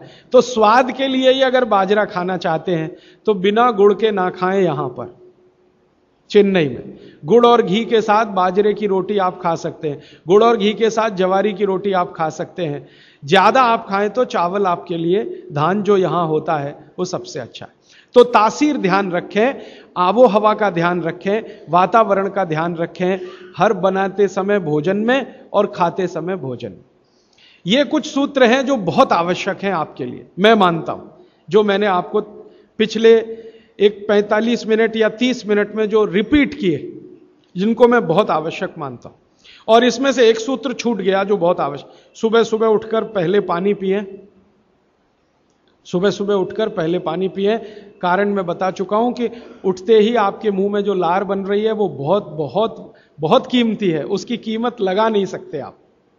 वो एकदम अमूल्य चीज़ है। वो अंदर ही जाए तो अच्छा है। तो आप उठते ही पानी पीने का नियम बनाए। कितना पानी पिए? मैंने बताया था 18 से कम उम्र के जो बच्चे हैं, उनको लगभग डेढ़ से दो गिलास साठ से ऊपर के जो बुज़ुर्ग हैं, उनको भी डेढ़ से दो गिलास, और आप जिस उम्र में हैं, अठारह से साठ तो कम से कम तीन गिलास। पीने का तरीका वही है, सिप सिप सिप सिप करके पीना, और यह सुबह का पानी, अकेला पानी है, जो बिना प्यास के भी पीना। जी, ये मुख्य नियम मैं मानता हूँ, आपको ज़रूर धारण करने चाहिए।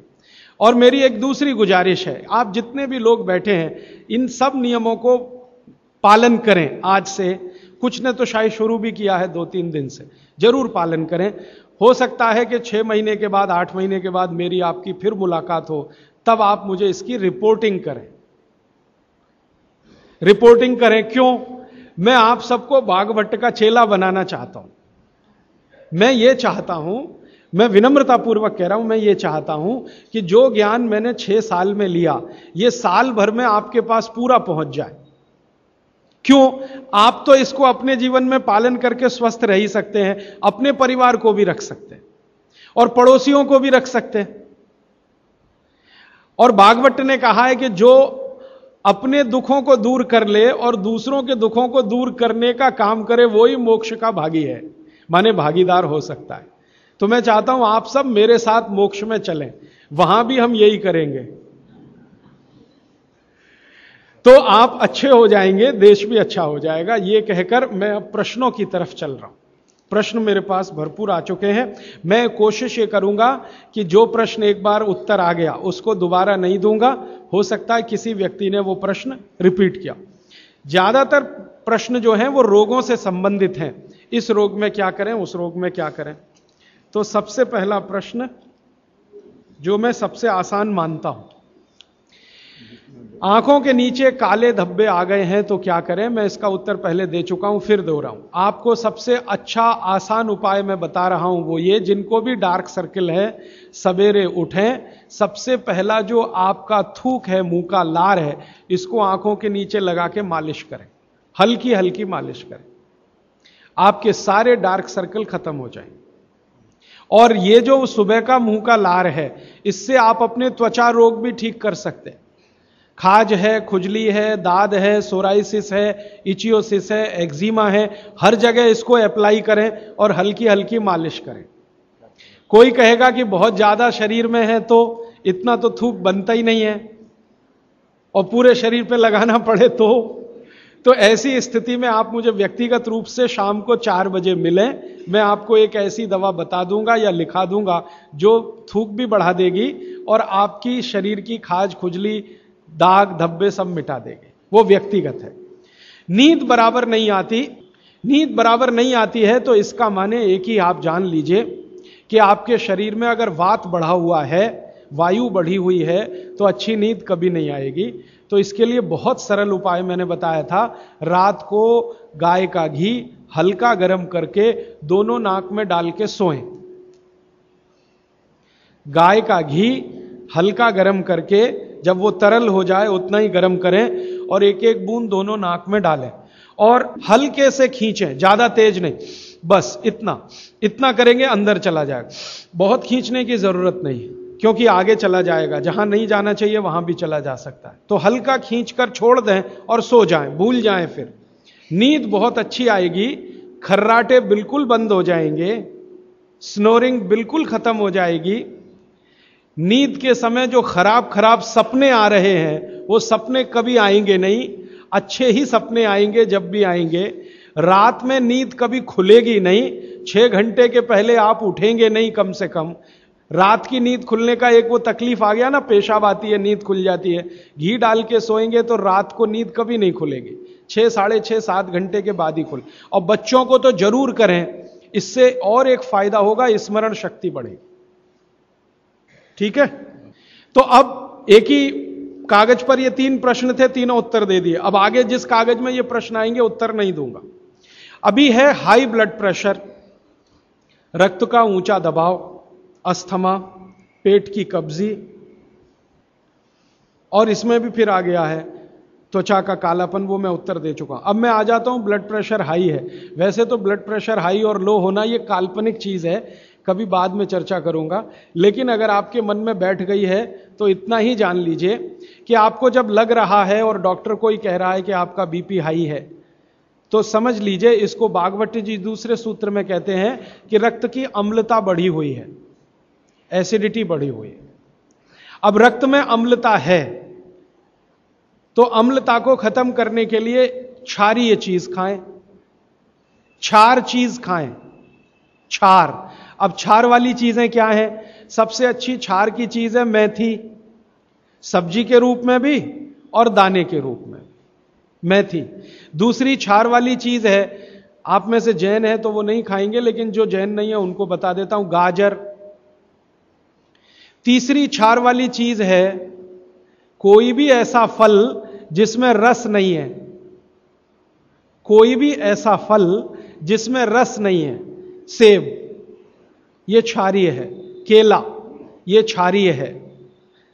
अमरूद, ये क्षारीय है। कोई भी ऐसे फल याद रहेगा आपको जिसमें रस नहीं है। ये सब क्षारीय है। सब्जियों में पालक क्षारीय है। बैंगन क्षारीय है। आलू के बारे में कहते हैं, ना अम्लीय, ना क्षारीय, वो बीच का है। तो जो सब्ज़ियाँ आपको क्षारीय हैं और जो मसाले माने औषधियाँ क्षारीय, इनका उपयोग करें। तो अम्लता अपने आप कम होगी तो ब्लड प्रेशर कम होगा तो ट्राइग्लिसराइड कम होगा, मोटापा भी कम होगा, सब कुछ कम होगा आपका। तो हमेशा याद रखें। तो मेथी दाने का उपयोग मैंने बता दिया है, पानी में डाल के रात को छोड़ दें, सुबह उठकर दाना चबा के खाएँ, पीछे से पानी पिए। गाजर का उपयोग बता दिया, कद्दू कस में घिसें, गाजर ले लें, वो कद्दू कस की गाजर को खा लें। और क्षारीय चीज़, मेथी की सब्ज़ी रोज खाएँ, पालक की सब्ज़ी रोज खाएँ। हरे पत्ते की कोई भी सब्ज़ी क्षारीय होती है। हरे पत्ते की कोई भी सब्ज़ी क्षारीय होगी। और फल जिसमें रस नहीं है, वो सब क्षारीय होंगे। बस याद इतना ही रखें। तो आप अगर उपयोग करेंगे तो हाई ब्लड प्रेशर तो जाएगा ही, उसके साथ ब्लड कोलेस्ट्रॉल कम रहेगा ट्राइग्लिसराइड कम रहेगा, मोटापा कम होगा, पेट आपका कम होगा, और उसके अंत में हार्ट अटैक आएगा नहीं ब्लॉकेज भी है तो निकल जाए और एक क्षारीय चीज़ में भूल गया बताना, लौकी, दूधी। सब्जियों में सबसे ज़्यादा क्षारीय कोई चीज़ है तो दूधी। माने लौकी ज़्यादा खाएँ, दूधी ज़्यादा खाएँ। और उसका रस भी पिए, कच्ची दूधी का तो और अच्छा है। जितने भी हाई बीपी के मरीज़ हैं, उनके। अस्थमा। अस्थमा भी जो एक बीमारी है ना, वो वायु के प्रकोप की बीमारी है। तो अस्थमा ज़्यादा है तो इसके लिए जो मैं बहुत बार बोल चुका हूँ, फिर बोल रहा हूँ दालचीनी। ये क्षारीय है। दालचीनी का उपयोग करें शहद के साथ। शहद क्षारीय है। तो दालचीनी शहद। शहद नहीं ले सकते तो गुड़। ये जो नारियल होता है ना, नारियल। मैंने आपको थोड़ी देर पहले एक बात कही है और मुझे याद आ गई तो। मैंने आपसे कहा, जो भी फल में रस नहीं है, वो क्षारीय है, और जो भी फल में रस है, वो अम्लीय है। लेकिन ये नारियल अद्भुत फल है, जो क्षारीय है, रस होते हुए भी। तो ये क्षारीय है, अब ये क्यों है, ये बाद का विषय। तो आप अगर अस्थमा से शिकार हैं, दमा के शिकार हैं तो नियमित रूप से नारियल खाइए।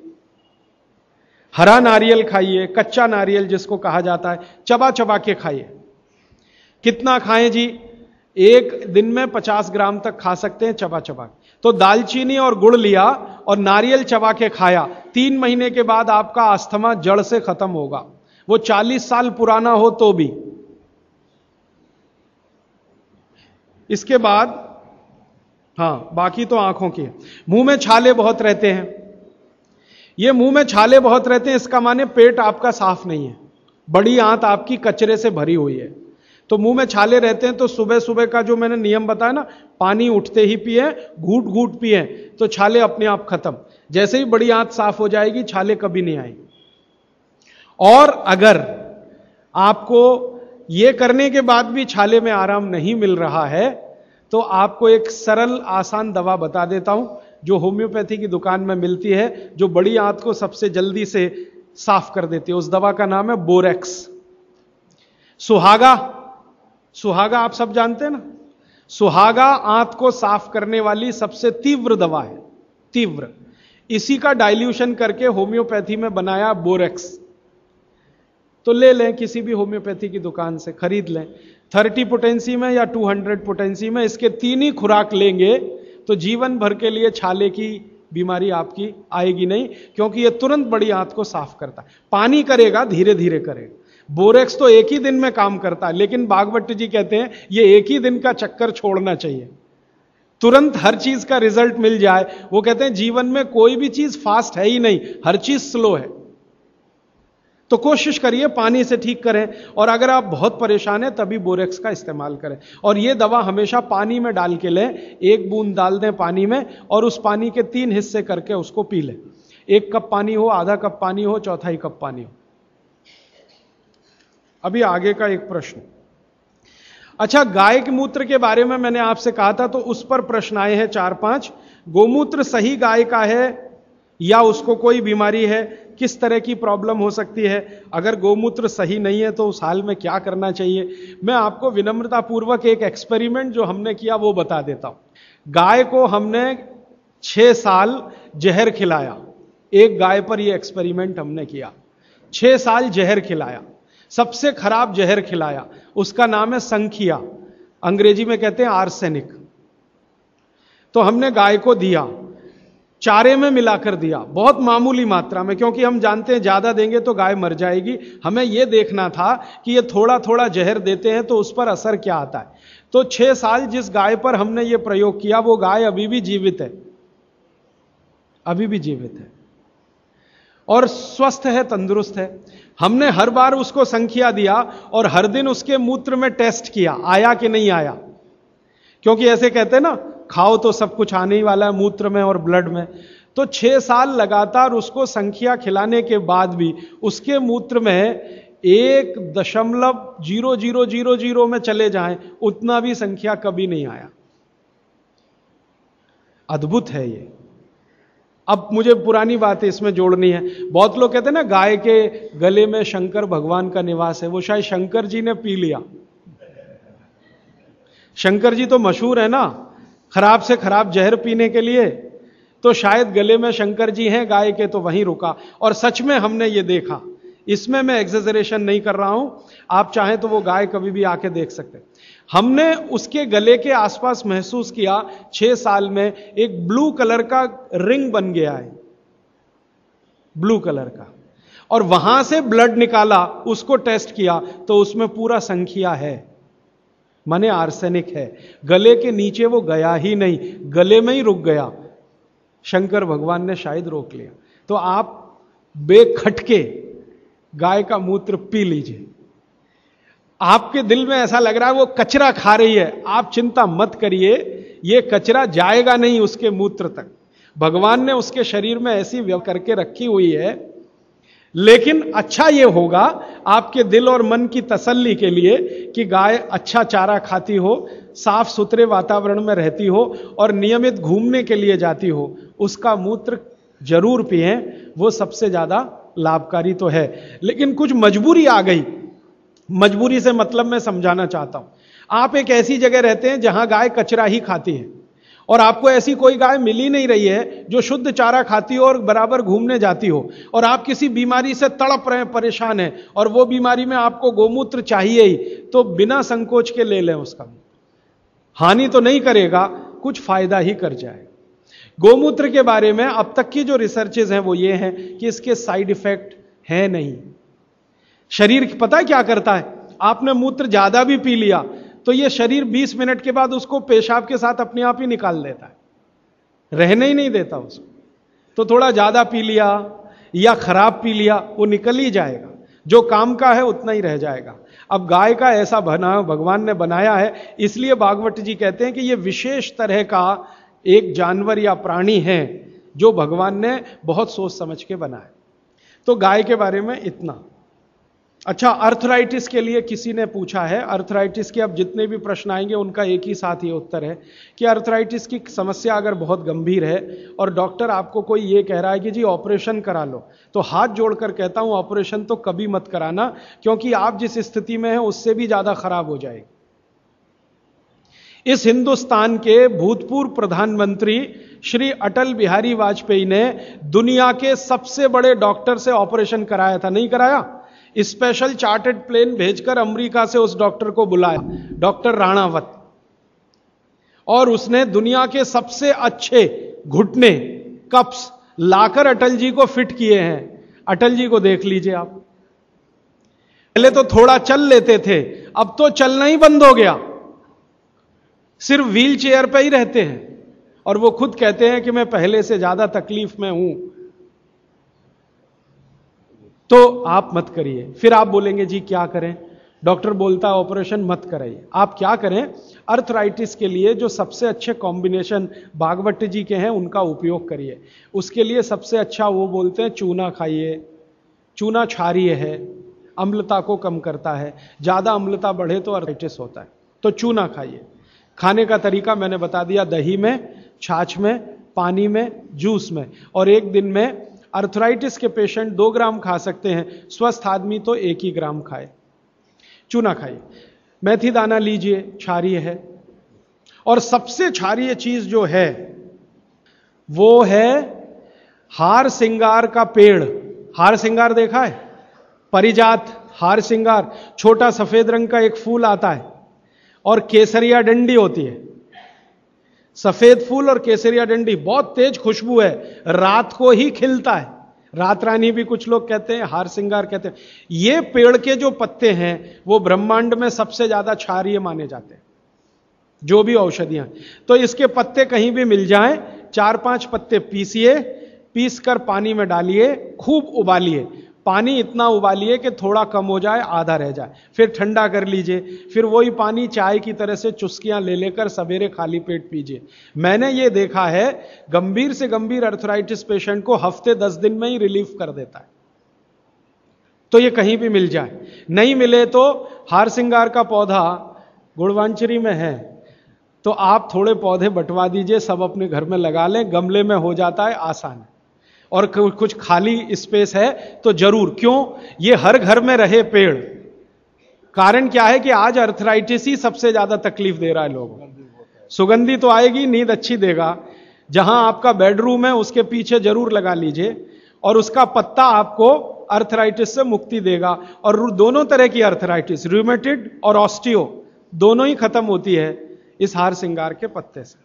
आइसक्रीम कब खा सकते हैं? कभी भी नहीं। कभी भी नहीं। और अगर आइसक्रीम खा ही रहे हैं, आप कहते हैं, जी, मन नहीं मानता, स्वाद है और मुँह को लग गया है, अब क्या? तो इसका एक उपाय बता देता हूँ। आइसक्रीम खाइए और पीछे से गर्म पानी में घी मिला के पी लीजिए। तो जो कुछ भी तकलीफ़ वो करने वाली है, उससे आप बच जाएँगे। ना खाएँ तो सबसे अच्छा। दालचीनी, सौंठ का काढ़ा, ये लोग ज़रूर पिए जिनको अस्थमा है। जिनको अर्थराइटिस है, माने वायु के रोग हैं, वो दालचीनी का काढ़ा ज़रूर पिए, गुड़ मिला के। मूंगफली और तिल ज़रूर खाएँ। भगवान की दी हुई तिल दुनिया की सबसे अद्भुत वस्तु है। मैं तो आपको कहता हूँ, ज़िंदगी भर मोटापे से बचना है हार्ट अटैक से बचना है, आपको अर्थराइटिस से बचना है तो रोज खाने के बाद तिल खाएँ चबा चबा के। काला तिल मिले तो बहुत अच्छा नहीं तो सफ़ेद ही खाएँ। और आप जहाँ रहते हैं, यहाँ के लिए तो बहुत ही अच्छा मद्रास जैसे एरिया के लिए।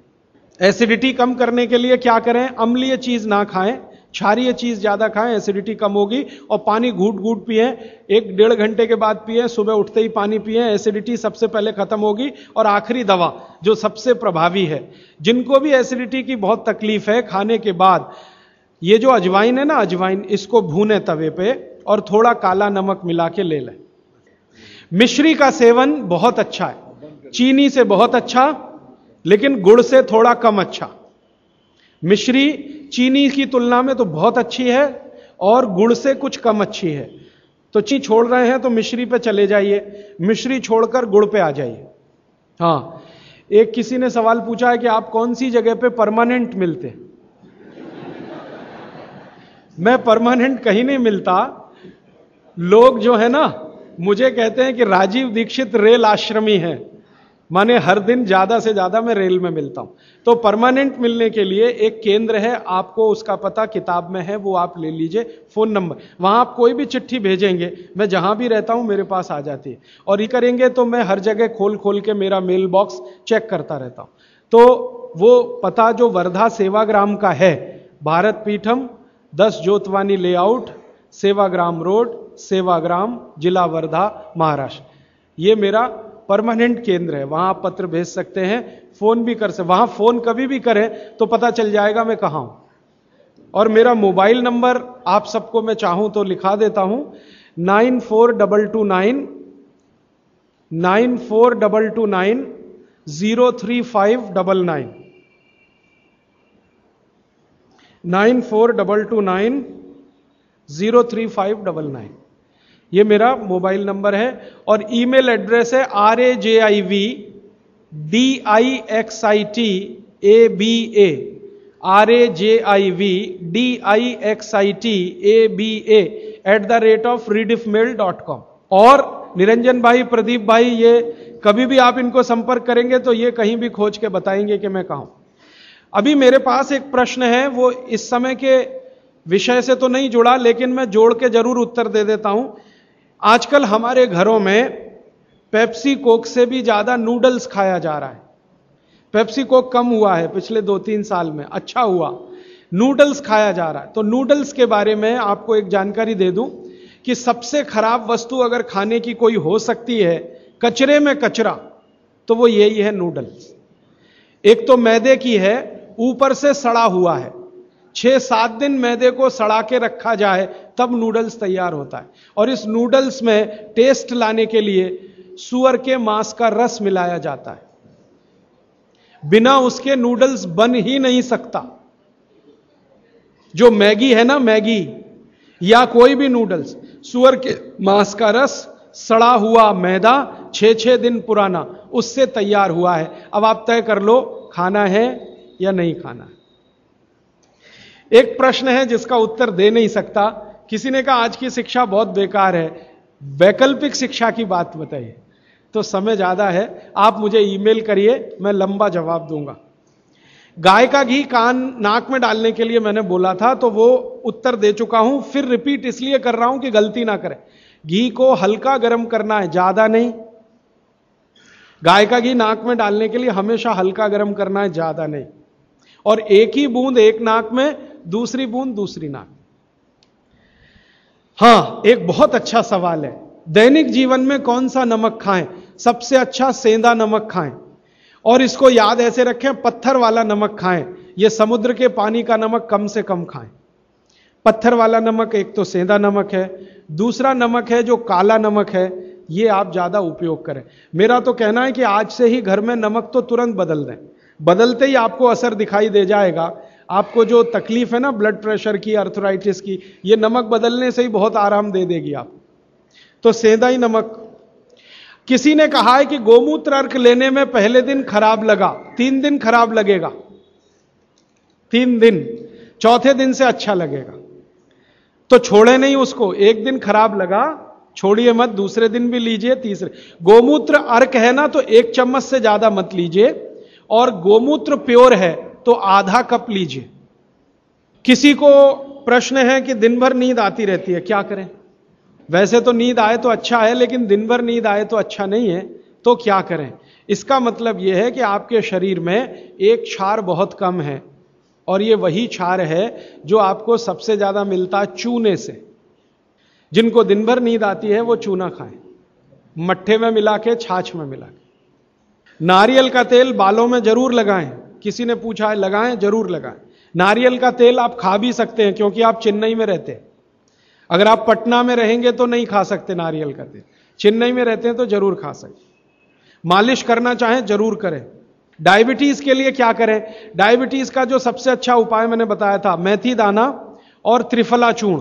त्रिफला चूर्ण माने हर डे बहेड़ा, आंवला, एक, दो, तीन अनुपात वाला त्रिफला चूर्ण, एक चम्मच मेथी दाना एक चम्मच। दोनों मिलाकर गर्म पानी में रात को रख दें। सवेरे उठकर इस पानी को पी लें और उसमें जो कुछ है चबा के खा लें। तीन चार महीने नियमित करेंगे। ब्लड शुगर नॉर्मल आने की पूरी संभावना है। और नहीं आए तीन चार महीने में ब्लड शुगर नॉर्मल तो एक मुझे ईमेल ज़रूर करें या फ़ोन करें। शुगर खाना, नहीं खाना, चीनी बिल्कुल बंद कर दीजिए, क्योंकि यही अकेली चीज़ है जो पचती नहीं आसानी से। बाकी चीनी छोड़कर कुछ भी खाए पथरी अगर है शरीर में और थायराइड थायराइड का सबसे अच्छा उपाय है, धनिया पत्ता है ना, धनिया पत्ता, इसकी चटनी। धनिया पत्ते की चटनी बनाइए, पानी में मिला के पी जाइए, पानी गुनगुना रहे। कितनी चटनी?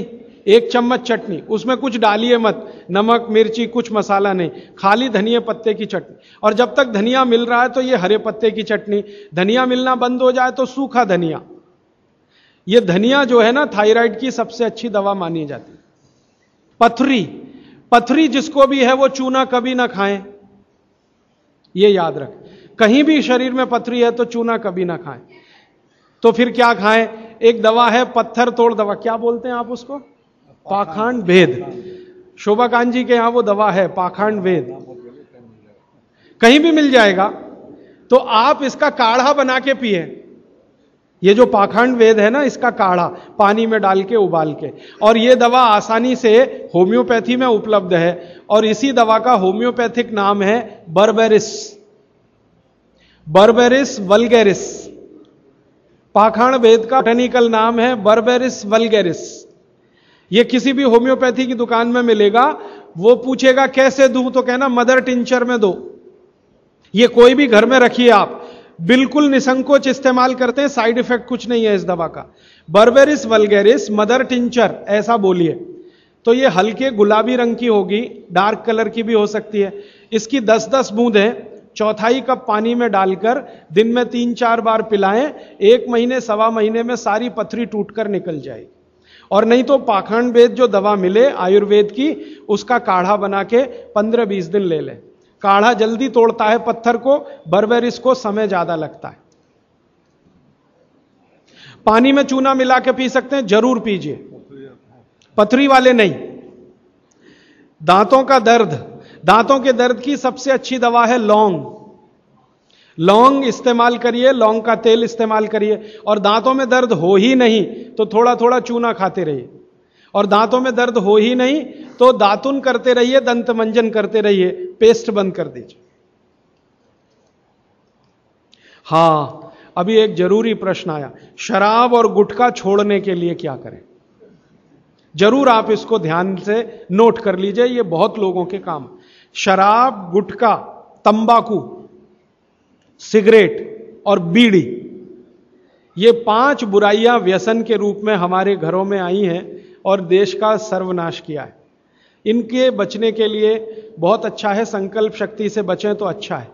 भागवत जी कहते हैं, किसी भी व्यसन से बाहर आना हो तो संकल्प शक्ति के साथ आइए। तो अच्छा है। नहीं है संकल्प शक्ति तो दवा का उप उपकरी तो क्या दवाएँ हैं आपके पास? सबसे अच्छी दवा है शुद्ध गाय का मूत्र, अर्क नहीं। शुद्ध गाय का मूत्र। दूसरी दवा आपके घर में है अदरक या सौंठ। जिनको शराब से छुड़ाना है, बाहर निकालना है, उनको और सौंठ ज़्यादा खिलवाइए। रस पिलवाइए अदरक का। सौंठ का काढ़ा बना के दीजिए। गुड़ मिला के दे सकते हैं सौंठ का काढ़ा बना के। और गोमूत्र पीने को बोलिए। नियमित रूप से अगर आधा कप भी गोमूत्र पिया तो सवा में शराब छूट जाती। है शराब जो पीते हैं बीड़ी सिगरेट जो पीते हैं, उनके शरीर में एक केमिकल बढ़ जाता है। उसका नाम है सल्फ़र। और सल्फ़र को कम करने के लिए सल्फ़र ही चाहिए। आयुर्वेद में कहा है ना कि विष को विष मारता है तो सल्फ़र बढ़ता है तो सल्फ़र कम करने के लिए बाहर से सल्फ़र चाहिए, और बाहर का सबसे अच्छा सल्फ़र गोमूत्र में है। सर्दी जुकाम। सर्दी जुकाम ज़्यादा है, बार बार है सबसे अच्छी दवा है, आप अगर बच्चों के लिए ले रहे हैं तो कफ दूर करना है उनका। कफ नाशक सबसे अच्छी दवा मैंने पहले दिन बताई थी, शहद है। दूसरी, शहद नहीं लेते तो गुड़ है। तो बच्चों को गुड़ दीजिए ज़्यादा। एक, उनको चूना भी दे सकते हैं। चूना कफ का भी नाश करता है। वात का तो करता ही है, कफ का भी कर। तो चूना दे सकते हैं। गाय का घी नाक में डाल सकते हैं।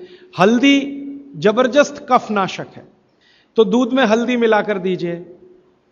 और दूध हल्दी, थोड़ा घी मिलाएँ तो और भी अच्छा कॉम्बिनेशन है। तो जिनको सर्दी जुकाम बार बार होते हैं, उसके लिए। पित्त बढ़ा है तो क्या करें? देशी गाय का घी खाइए। देशी गाय का घी गरम गरम पानी में डालकर पिए तो सब पित्त को शांत करेगा। और दूसरी चीज़ मैंने पहले बता दी है, अजवाइन और काला नमक। यह भी पित्त बढ़े तो शांत करेगा उसको। एक मेरे पास डिफ़िकल्ट केस है, ये मुझे व्यक्तिगत रूप से मिले। कोई एक महिला है, उसकी लंबाई लगातार बढ़ रही है। ये मुझे शाम को मिले, चार बजे।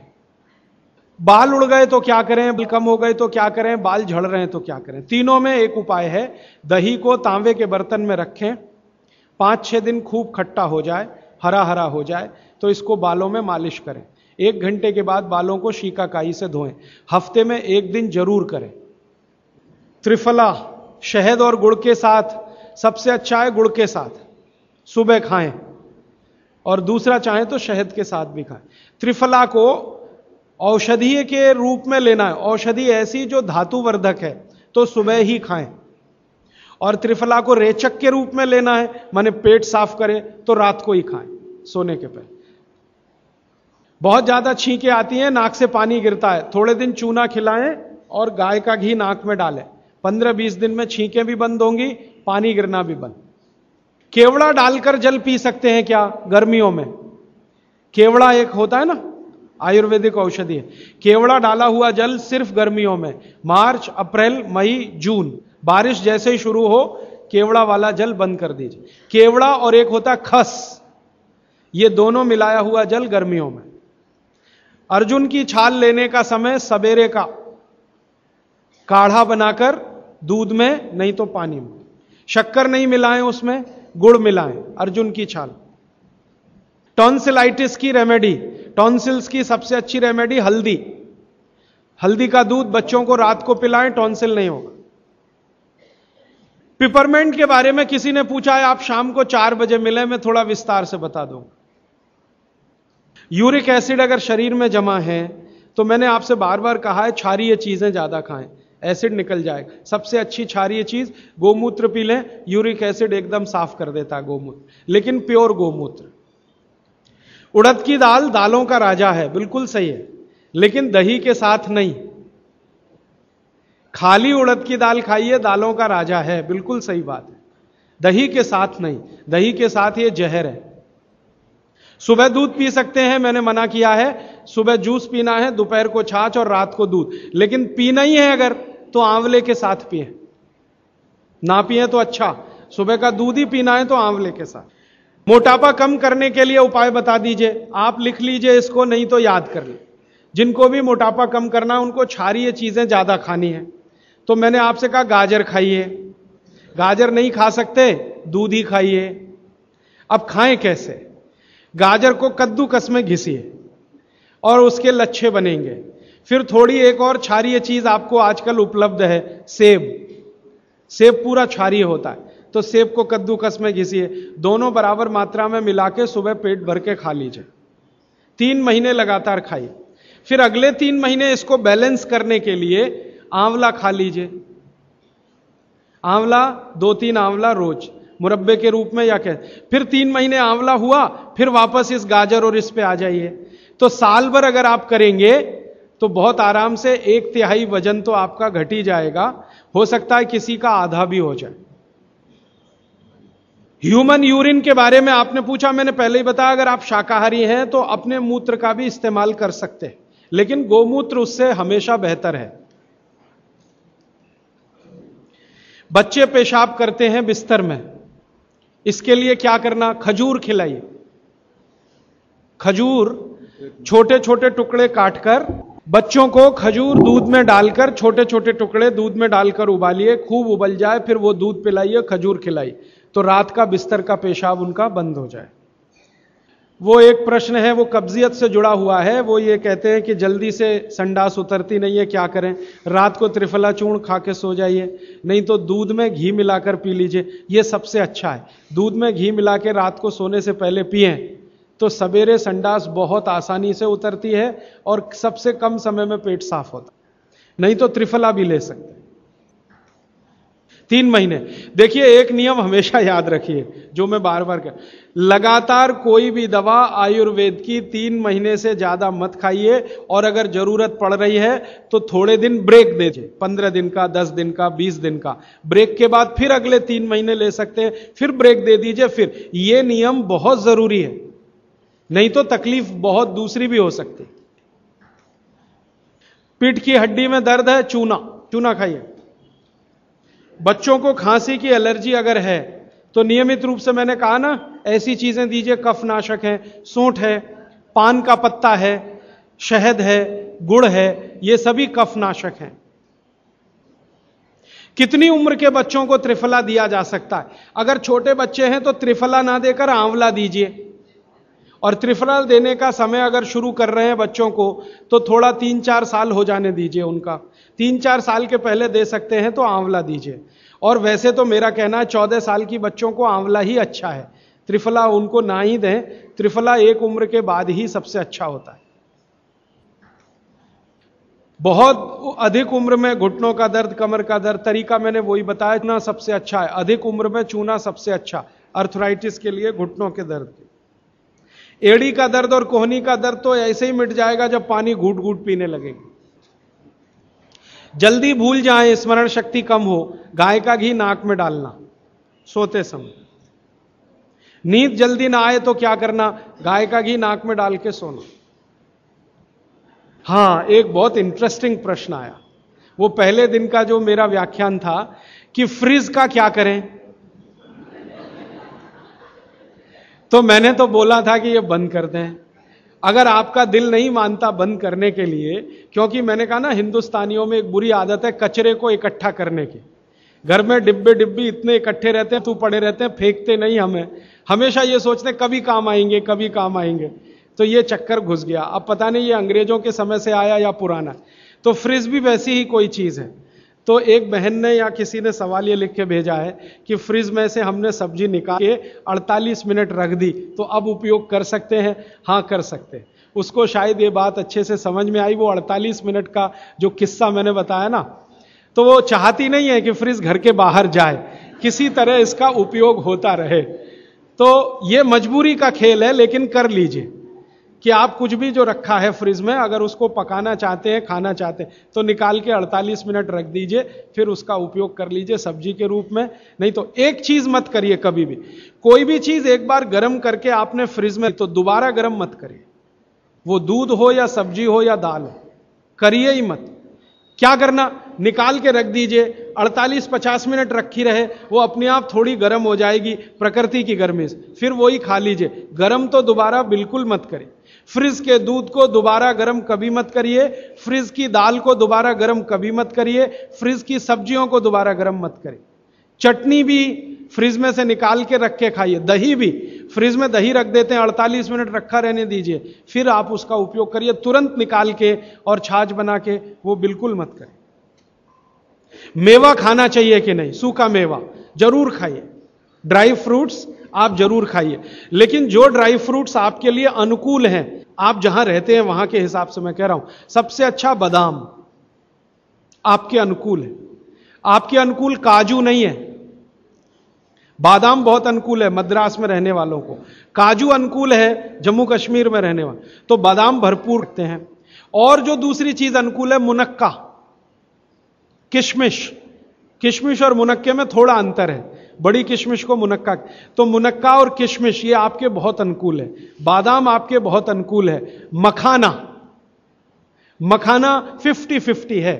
ज़्यादा अनुकूल तो बिहार, उत्तर प्रदेश वालों को है। और थोड़ा चले तो झारखंड वालों को। आपके लिए 50 50 ना बहुत प्रतिकूल है, ना बहुत अनुकूल है, बीच का है। और बाकी जो अखरोट वगैरह हैं, ये आपके अनुकूल नहीं। अखरोट खाना चाहिए हमेशा ठंड में रहने वाले लोगों को। आपके लिए अखरोट बिल्कुल अनुकूल नहीं। और ड्राई फ्रूट्स क्या खाते हैं आप? चिरौंजी। चिरौंजी, क्या कहते हैं उसको? जो चिरौंजी है वो आपके लिए अनुकूल है। चेन्नई के आसपास के लोगों के लिए अनुकूल है, वो आप खा सकते हैं। और ड्राई फ्रूट शायद इसके आगे हैं? हाँ, केसर। केसर अगर आप खाएँ, वैसे तो औषधि है, ड्राई फ्रूट नहीं, लेकिन ये तीन महीने के आगे नहीं खा सकते, नवंबर, दिसंबर, जनवरी। और दूध में मिला के मिश्री, पिस्ता। पिस्ता फिफ्टी फिफ्टी है। अंजीर बहुत अनुकूल है सिर्फ़ एक ही किस्म के लोगों के लिए। इसको मैं आपको कहता हूँ, जरा ध्यान से सुन। जिनको शरीर में शक्ति की कमी लगती है, शक्ति की कमी लगती है, ताकत कम है, शक्ति कम है, उनके लिए अंजीर बहुत फ़ायदे की है। लेकिन जिनको पहले से ही ताकत है, वो ना खाएँ इसको। चेंदारू क्या होता है? एप्रिकॉट। हाँ एप्रीकॉट आपके लिए ठीक है। आप खा सकते हैं एप्रीकॉट हाँ एक सुझाव है, प्रश्न नहीं है। और वो सुझाव मुझे स्वीकार है। वो ये कहते हैं कि आप चले गए, उसके बाद क्या?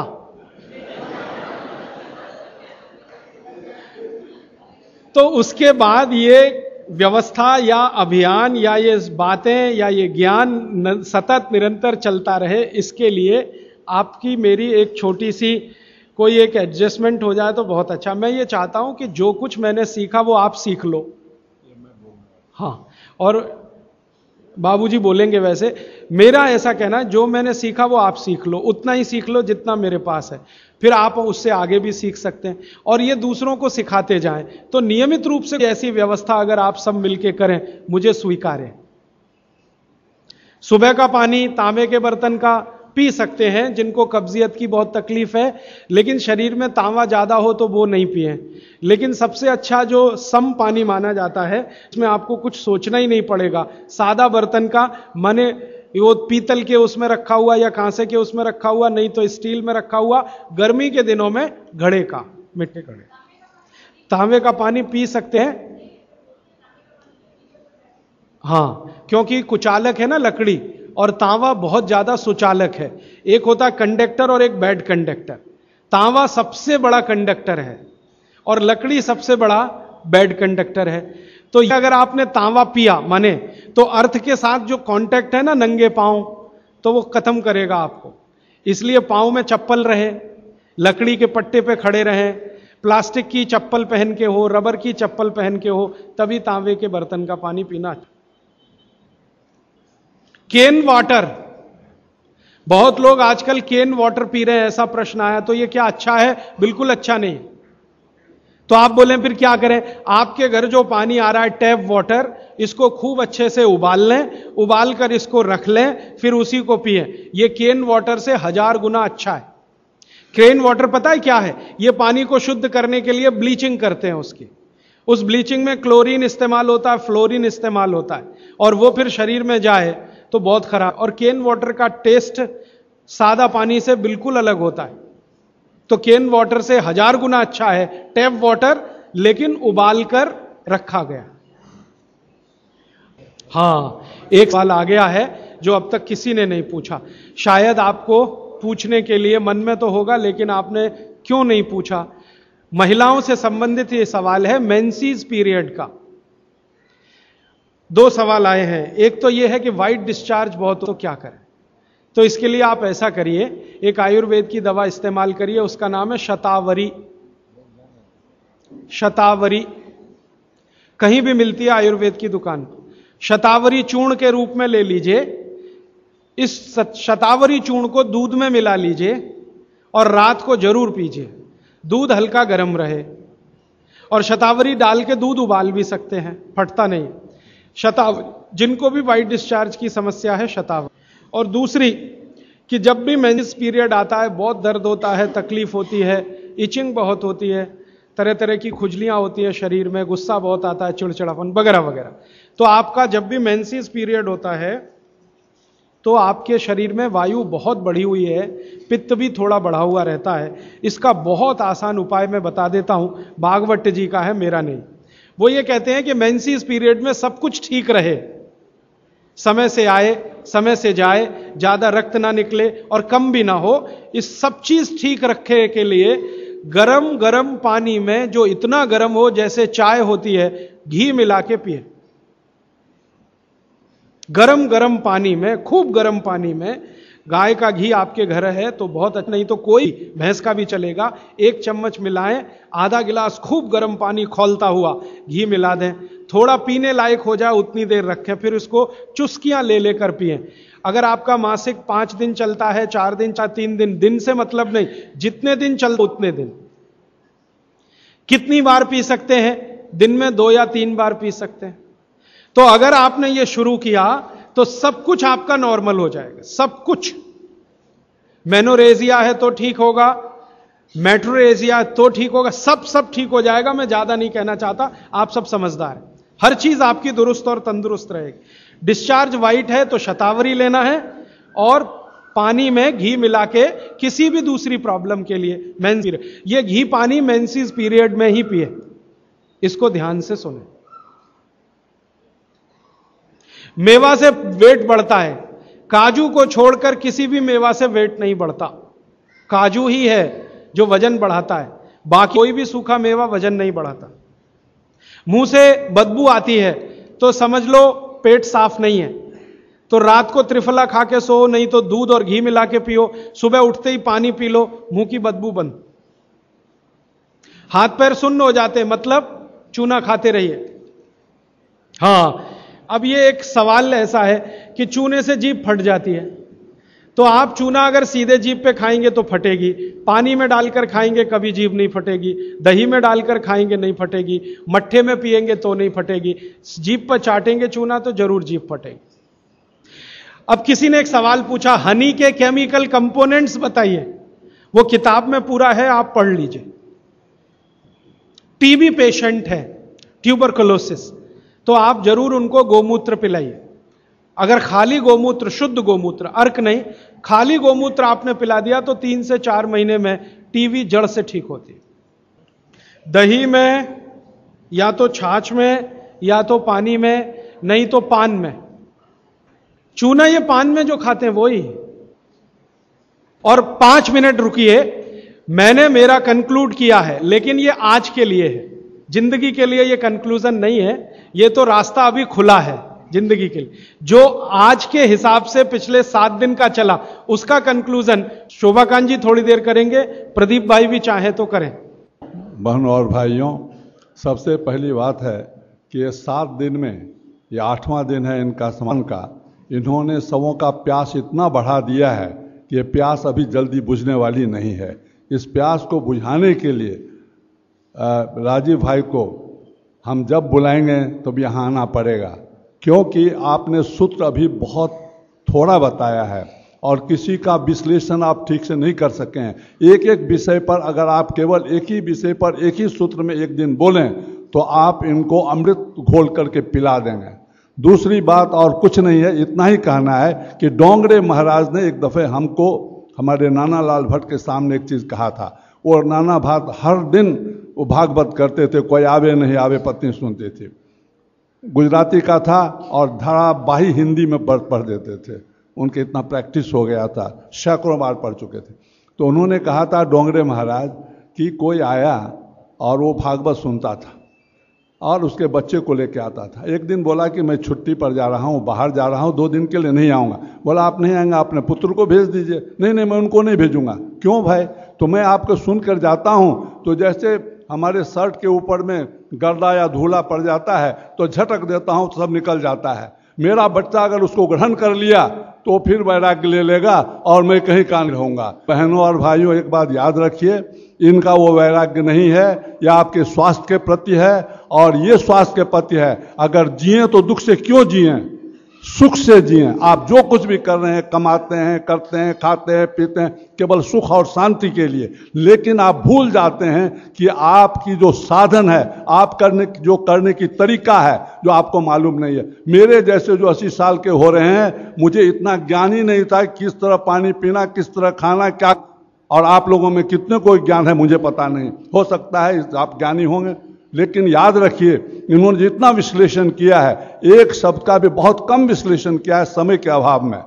सबसे बड़ी बात है कि इतना बजे जाना है, इनको और का दस बजे इनका आराधना भवन में कार्यक्रम है। इसके बाद इनका कार्यक्रम भर दिन के लिए है। और आप ताजुब करिएगा कि ये जैसे सुई की ये सुई चलती है घड़ी की, इसी तरह यहाँ जब से आए हैं, सुबह से लेकर शाम तक इसी तरह नाचते रहते हैं तो घूमते रहते हैं। कि एनर्जी भगवान ने इतना दिया है कि कितना जितना खर्च करते हैं, बढ़ जाता है। हमारा, हमारे हमारे पटवारी भाई कहते थे, जितना दान दोगे, उतना तुम्हारा जो भरा हुआ कटोरा है, जितना छलकेगा, उतना ही कटोरा भरेगा।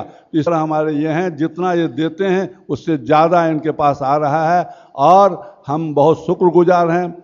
राजीव भाई का, जो इन्होंने पहली बार, एक तो पहली बार ये पढ़ करके छह साल से अध्ययन करने के बाद इन्होंने कहीं नहीं दिया। जिस तरह आज़ादी बचाओ आंदोलन के लिए ये आए, और आपको ताजुब होगा कि एक दिन के हमारे नोटिस में हॉल खचाखच भर जाता था। आज यहाँ, कल वहाँ, परसों वहाँ, ये चलता रहा। और बड़े सक्सेस, सक्सेसफुल रहा इनका वो कार्यक्रम और उस तक की यात्रा। आज पहली बार इन्होंने छह महीना पहले बोला कि हमने इतना अध्ययन किया है, अगर आप चाहें तो उसका उपयोग कर सकते हैं। हमारे प्रदीप भाई तुरंत बोला कि नहीं तो फिर आ जाइए। और बहुत इसके साथ, एक दिन पहले तक प्रदीप भाई और प्रदीप के जितने दोस्त हैं, ये विजय फैमिली सज्जन राज और रमेश जी और ये जितने भी हमारे मेंबर्स हैं, मिलाप जी वगैरह, इन लोगों ने कहा कि कल क्या होगा? अरे भाई, एक काम करो, सब आदमी, दस बीस बीस आदमी को पकड़ के लाओ। ये इनका, आज इनका व्याख्यान है। माने एक दिन रात के पहले इन्होंने व्याख्या किया, सब आदमी बीस बीस को पकड़ लेगा, सत्तर आदमी, सौ आदमी हो जाएँगे। मुझे लेकिन विश्वास था हमें का कहता था, राजीव भाई आएँगे तो खुद आएँगे, एक दफे सुनेंगे लोग तो खुद छा जाएँगे इसको कहना और आप देख रहे हैं कि किसी दिन ये हॉल का एक सीट खाली नहीं रहता है, बल्कि कुर्सी नहीं है तो बाहर से सुनते हैं। ये राजीव भाई का है, और पहली बार इन्होंने इसको क्या क्या, और मुझे अब इनको कहना है, और देखेंगे ये कि अब ये हर स्टेट में, हर गाँव हर डिस्ट्रिक्ट में इनको लोग बुलाएँगे सुनने के लिए।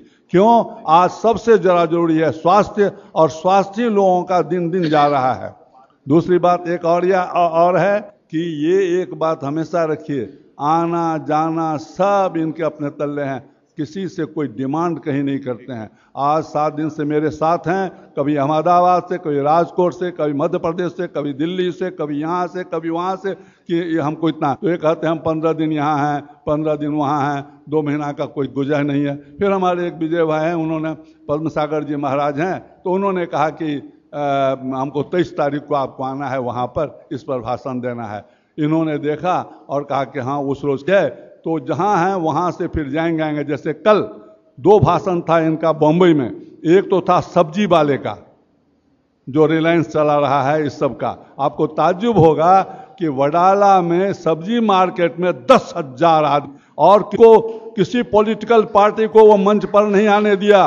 कहा, कोई पॉलिटिकल पार्टी आप हमारे नेता बन जाएँगे आज बोल के और कल किसी पार्टी में आप घुस जाएँगे। इसीलिए मैं किसी को नहीं आने नहीं दूँगा। और वो कहता है राजीव भाई को कि राजीव भाई आप नहीं बदलेंगे। आप हमारा प्रेसिडेंट बन जाइए चेयरमैन बन जाइए। बड़ी, इन्होंने कहा, भाई मैं तो सब्ज़ी वाला नहीं हूँ, ये नहीं होने, नहीं तो किसी और को अपने में से बना लो। बोला, बन तो जाएँगे, लेकिन कब उनकी जब ख्याति हो जाएगी, कल किसी पार्टी में घुस जाएँगे। इसके बाद इसी तरह राजीव भाई को हम फिर बुलाएँगे और हम कोशिश करेंगे कि एक सात दिन रहें। एक महीना ये रहें तो हमको बहुत कुछ दे सकते हैं, हमारे शरीर को स्वस्थ स्वस्थ बना सकते हैं। और इनके चिरायु, हम सत्य करेंगे, क्योंकि सतायु नहीं कहेंगे, क्योंकि गांधी जी को बिनवा जी ने पत्र लिखा उनके जन्मदिन पर कि आप सताई हो। उन्होंने तुरंत रिपीट टेलीग्राम दिया how you have cut my twenty five years हम तो सवा साल जिएँगे। सवा सौ साल जिएँगे। तो उन्हें पच्चीस हज़ार कट कैसे कटा लिया? उन्होंने माफ़ी मांगा। इसीलिए मैं ऐसा कहता हूँ, लेकिन जब तक ये स्वस्थ से जिएँगे, क्योंकि इनमें सब कुछ है, और कभी ना तो सिर में दर्द देखा मैंने, जब कभी देखा, इतना हेक्टिक होते हुए भी, इतना पंचित कभी उद्वेलित नहीं हुए देखा, कभी गुस्सा देखा, कभी कुछ भी नहीं था। मैं बैठा हूँ क्वेश्चन के आंसर वो कर रहे हैं, और हम कह रहे हैं, आपको दस बजे जाना है, आप जरा शॉर्ट कीजिए, और ये शॉर्ट नहीं कर सके।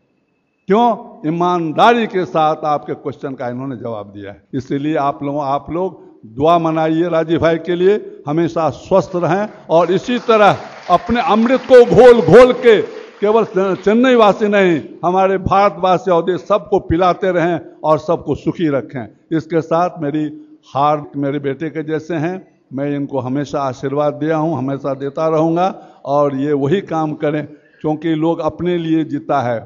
एक दफ़े जयप्रकाश जी ने हम कहा, हमको ये सब काम नहीं होगा। उन्होंने कहा, तब कुत्ते बनोगे? क्यों? तो कुत्ता अपने लिए जीता है, मनुष्य दूसरे के लिए जीता है। तो ये हमारे राजीव राजीव भाई हैं, जो दूसरे के लिए ही जीते हैं, अपने लिए नहीं जीते हैं। दूसरी बात, अगर आपकी साधन अच्छी नहीं होगी तो आपका साध्य वो भी खराब हो जाएगा। इसलिए साधन के उन्होंने कल कितना बार कह चुका है, और मैं तो इसका प्रत्यक्ष प्रमाण मानता हूँ, मैं इनका गवाह हूँ। इन्होंने कभी एक पैसा कहा नहीं, शोभा कांत जी हमको दीजिए, करा दीजिए। कभी नहीं, और ये जो खादी उदी जितना आता है, ये यही इसी से जो आता है, जैसे जयप्रकाश को किसी ने सवा बम्बई में, सवा लाख रुपए हर महीना देंगे। कहा, क्यों? तो आपके वहाँ पर खाने पीने का नहीं, मेरा ऑफ़िस तो कोई और चला रहा है इसलिए खाने खाने पीने का मैं पैसा जब आपके घर आऊँगा खाऊँगा, लेकिन मैं अगर अपने घर में रहूँगा, अपना पैसा तो कहाँ से आते जानते हैं? हम लिखते हैं जो रॉयलिटी आता है, उसी के बीच में हम खाते रहते हैं, दूसरे का पैसा नहीं खाएँगे। ये है हमारे राजीव भाई, आदर्श अगर जितना कूट कूट के इनमें भरा हुआ है। देशभक्ति लोगों के लिए उनके टूट के भराया है कि किस तरह मनुष्य सुखी रहें, किस तरह देश स्वस्थ हो, किस तरह देश की राजनीति बदले, उसमें एक बात याद रखिएगा अभी ये बॉम्बे अमेरिका जाने वाले हैं, उक्रेन जाने हैं, वो एक डॉक्यूमेंट मिल गया तो मद्रास में ही इसका जो हम लोगों को कहेंगे, और यहीं से ये बम फोड़ेंगे। बम ये कौन बम है? ऐसा बम है जो कि शांति लाएगा, लोगों को सिखाएगा कि हम कहाँ थे, हमारे हमारे ये पॉलिटिशियनों ने हमको कहाँ रखा है। अगर वो अगर चुप हो गए, अगर इनको अच्छा डॉक्यूमेंट नहीं मिला तो कुछ वर्षों के बाद देखिएगा कि हिंदुस्तान जाता है। प्रफुल्ल भाई प्रफुल्ल भाई, जरा आपसे एक है? अच्छा अच्छा आइए, आपसे जा निकल, ये लोग चले जाएँगे, आप इनके साथ में थोड़ा पाँच मिनट के लिए। आप रुकिएगा, चूँकि प्रफुल्ल भाई जितना हमको मदद दिया है, दूसरे कहने पर कि आप जैसे एक बजे से पाँच बजे तक इनको देखने का समय है, और पाँच बजे के बदले में साढ़े पाँच बज जाता है, कभी सौ, कभी सवा सौ, कभी साठ, कभी सत्तर तो ये तो देखते हैं तो बहुत अच्छी तरह देखते हैं। जब तक सुनेंगे ठीक से नहीं, जब तक जवाब नहीं देंगे तो समय बहुत हो जाता है और समय पार कर जाता है। तो दूसरे को जो रूम दिए रहते हैं, वो उनको कुदेरता है, उनको करता है, आप क्यों नहीं? तो प्रफुल्ल भाई, इस सब के समावेश में हमारे साथ जो हम लोगों को साथ दिया और जिस तरह उन्होंने किया, इसलिए उनको निवेदन है, एक बार ऊपर आए। प्रफुल्ल भाई, एक एक, दो मिनट के लिए आप इनको आशीर्वाद देने के लिए ऊपर आए। और कुछ नहीं, आशीर्वाद देने के लिए ऊपर आए। हाँ हाँ आइए। आप प्रेसिडेंट साहब के दे चुके हैं। अब आप सेक्रेटरी साहब हैं और हर एक शरीर का तल, तले वर एक हैं लेकिन आप जो हैं सो आप हृदय हैं। आप आइए इस संस्था की दीजिए उनको आशीर्वाद।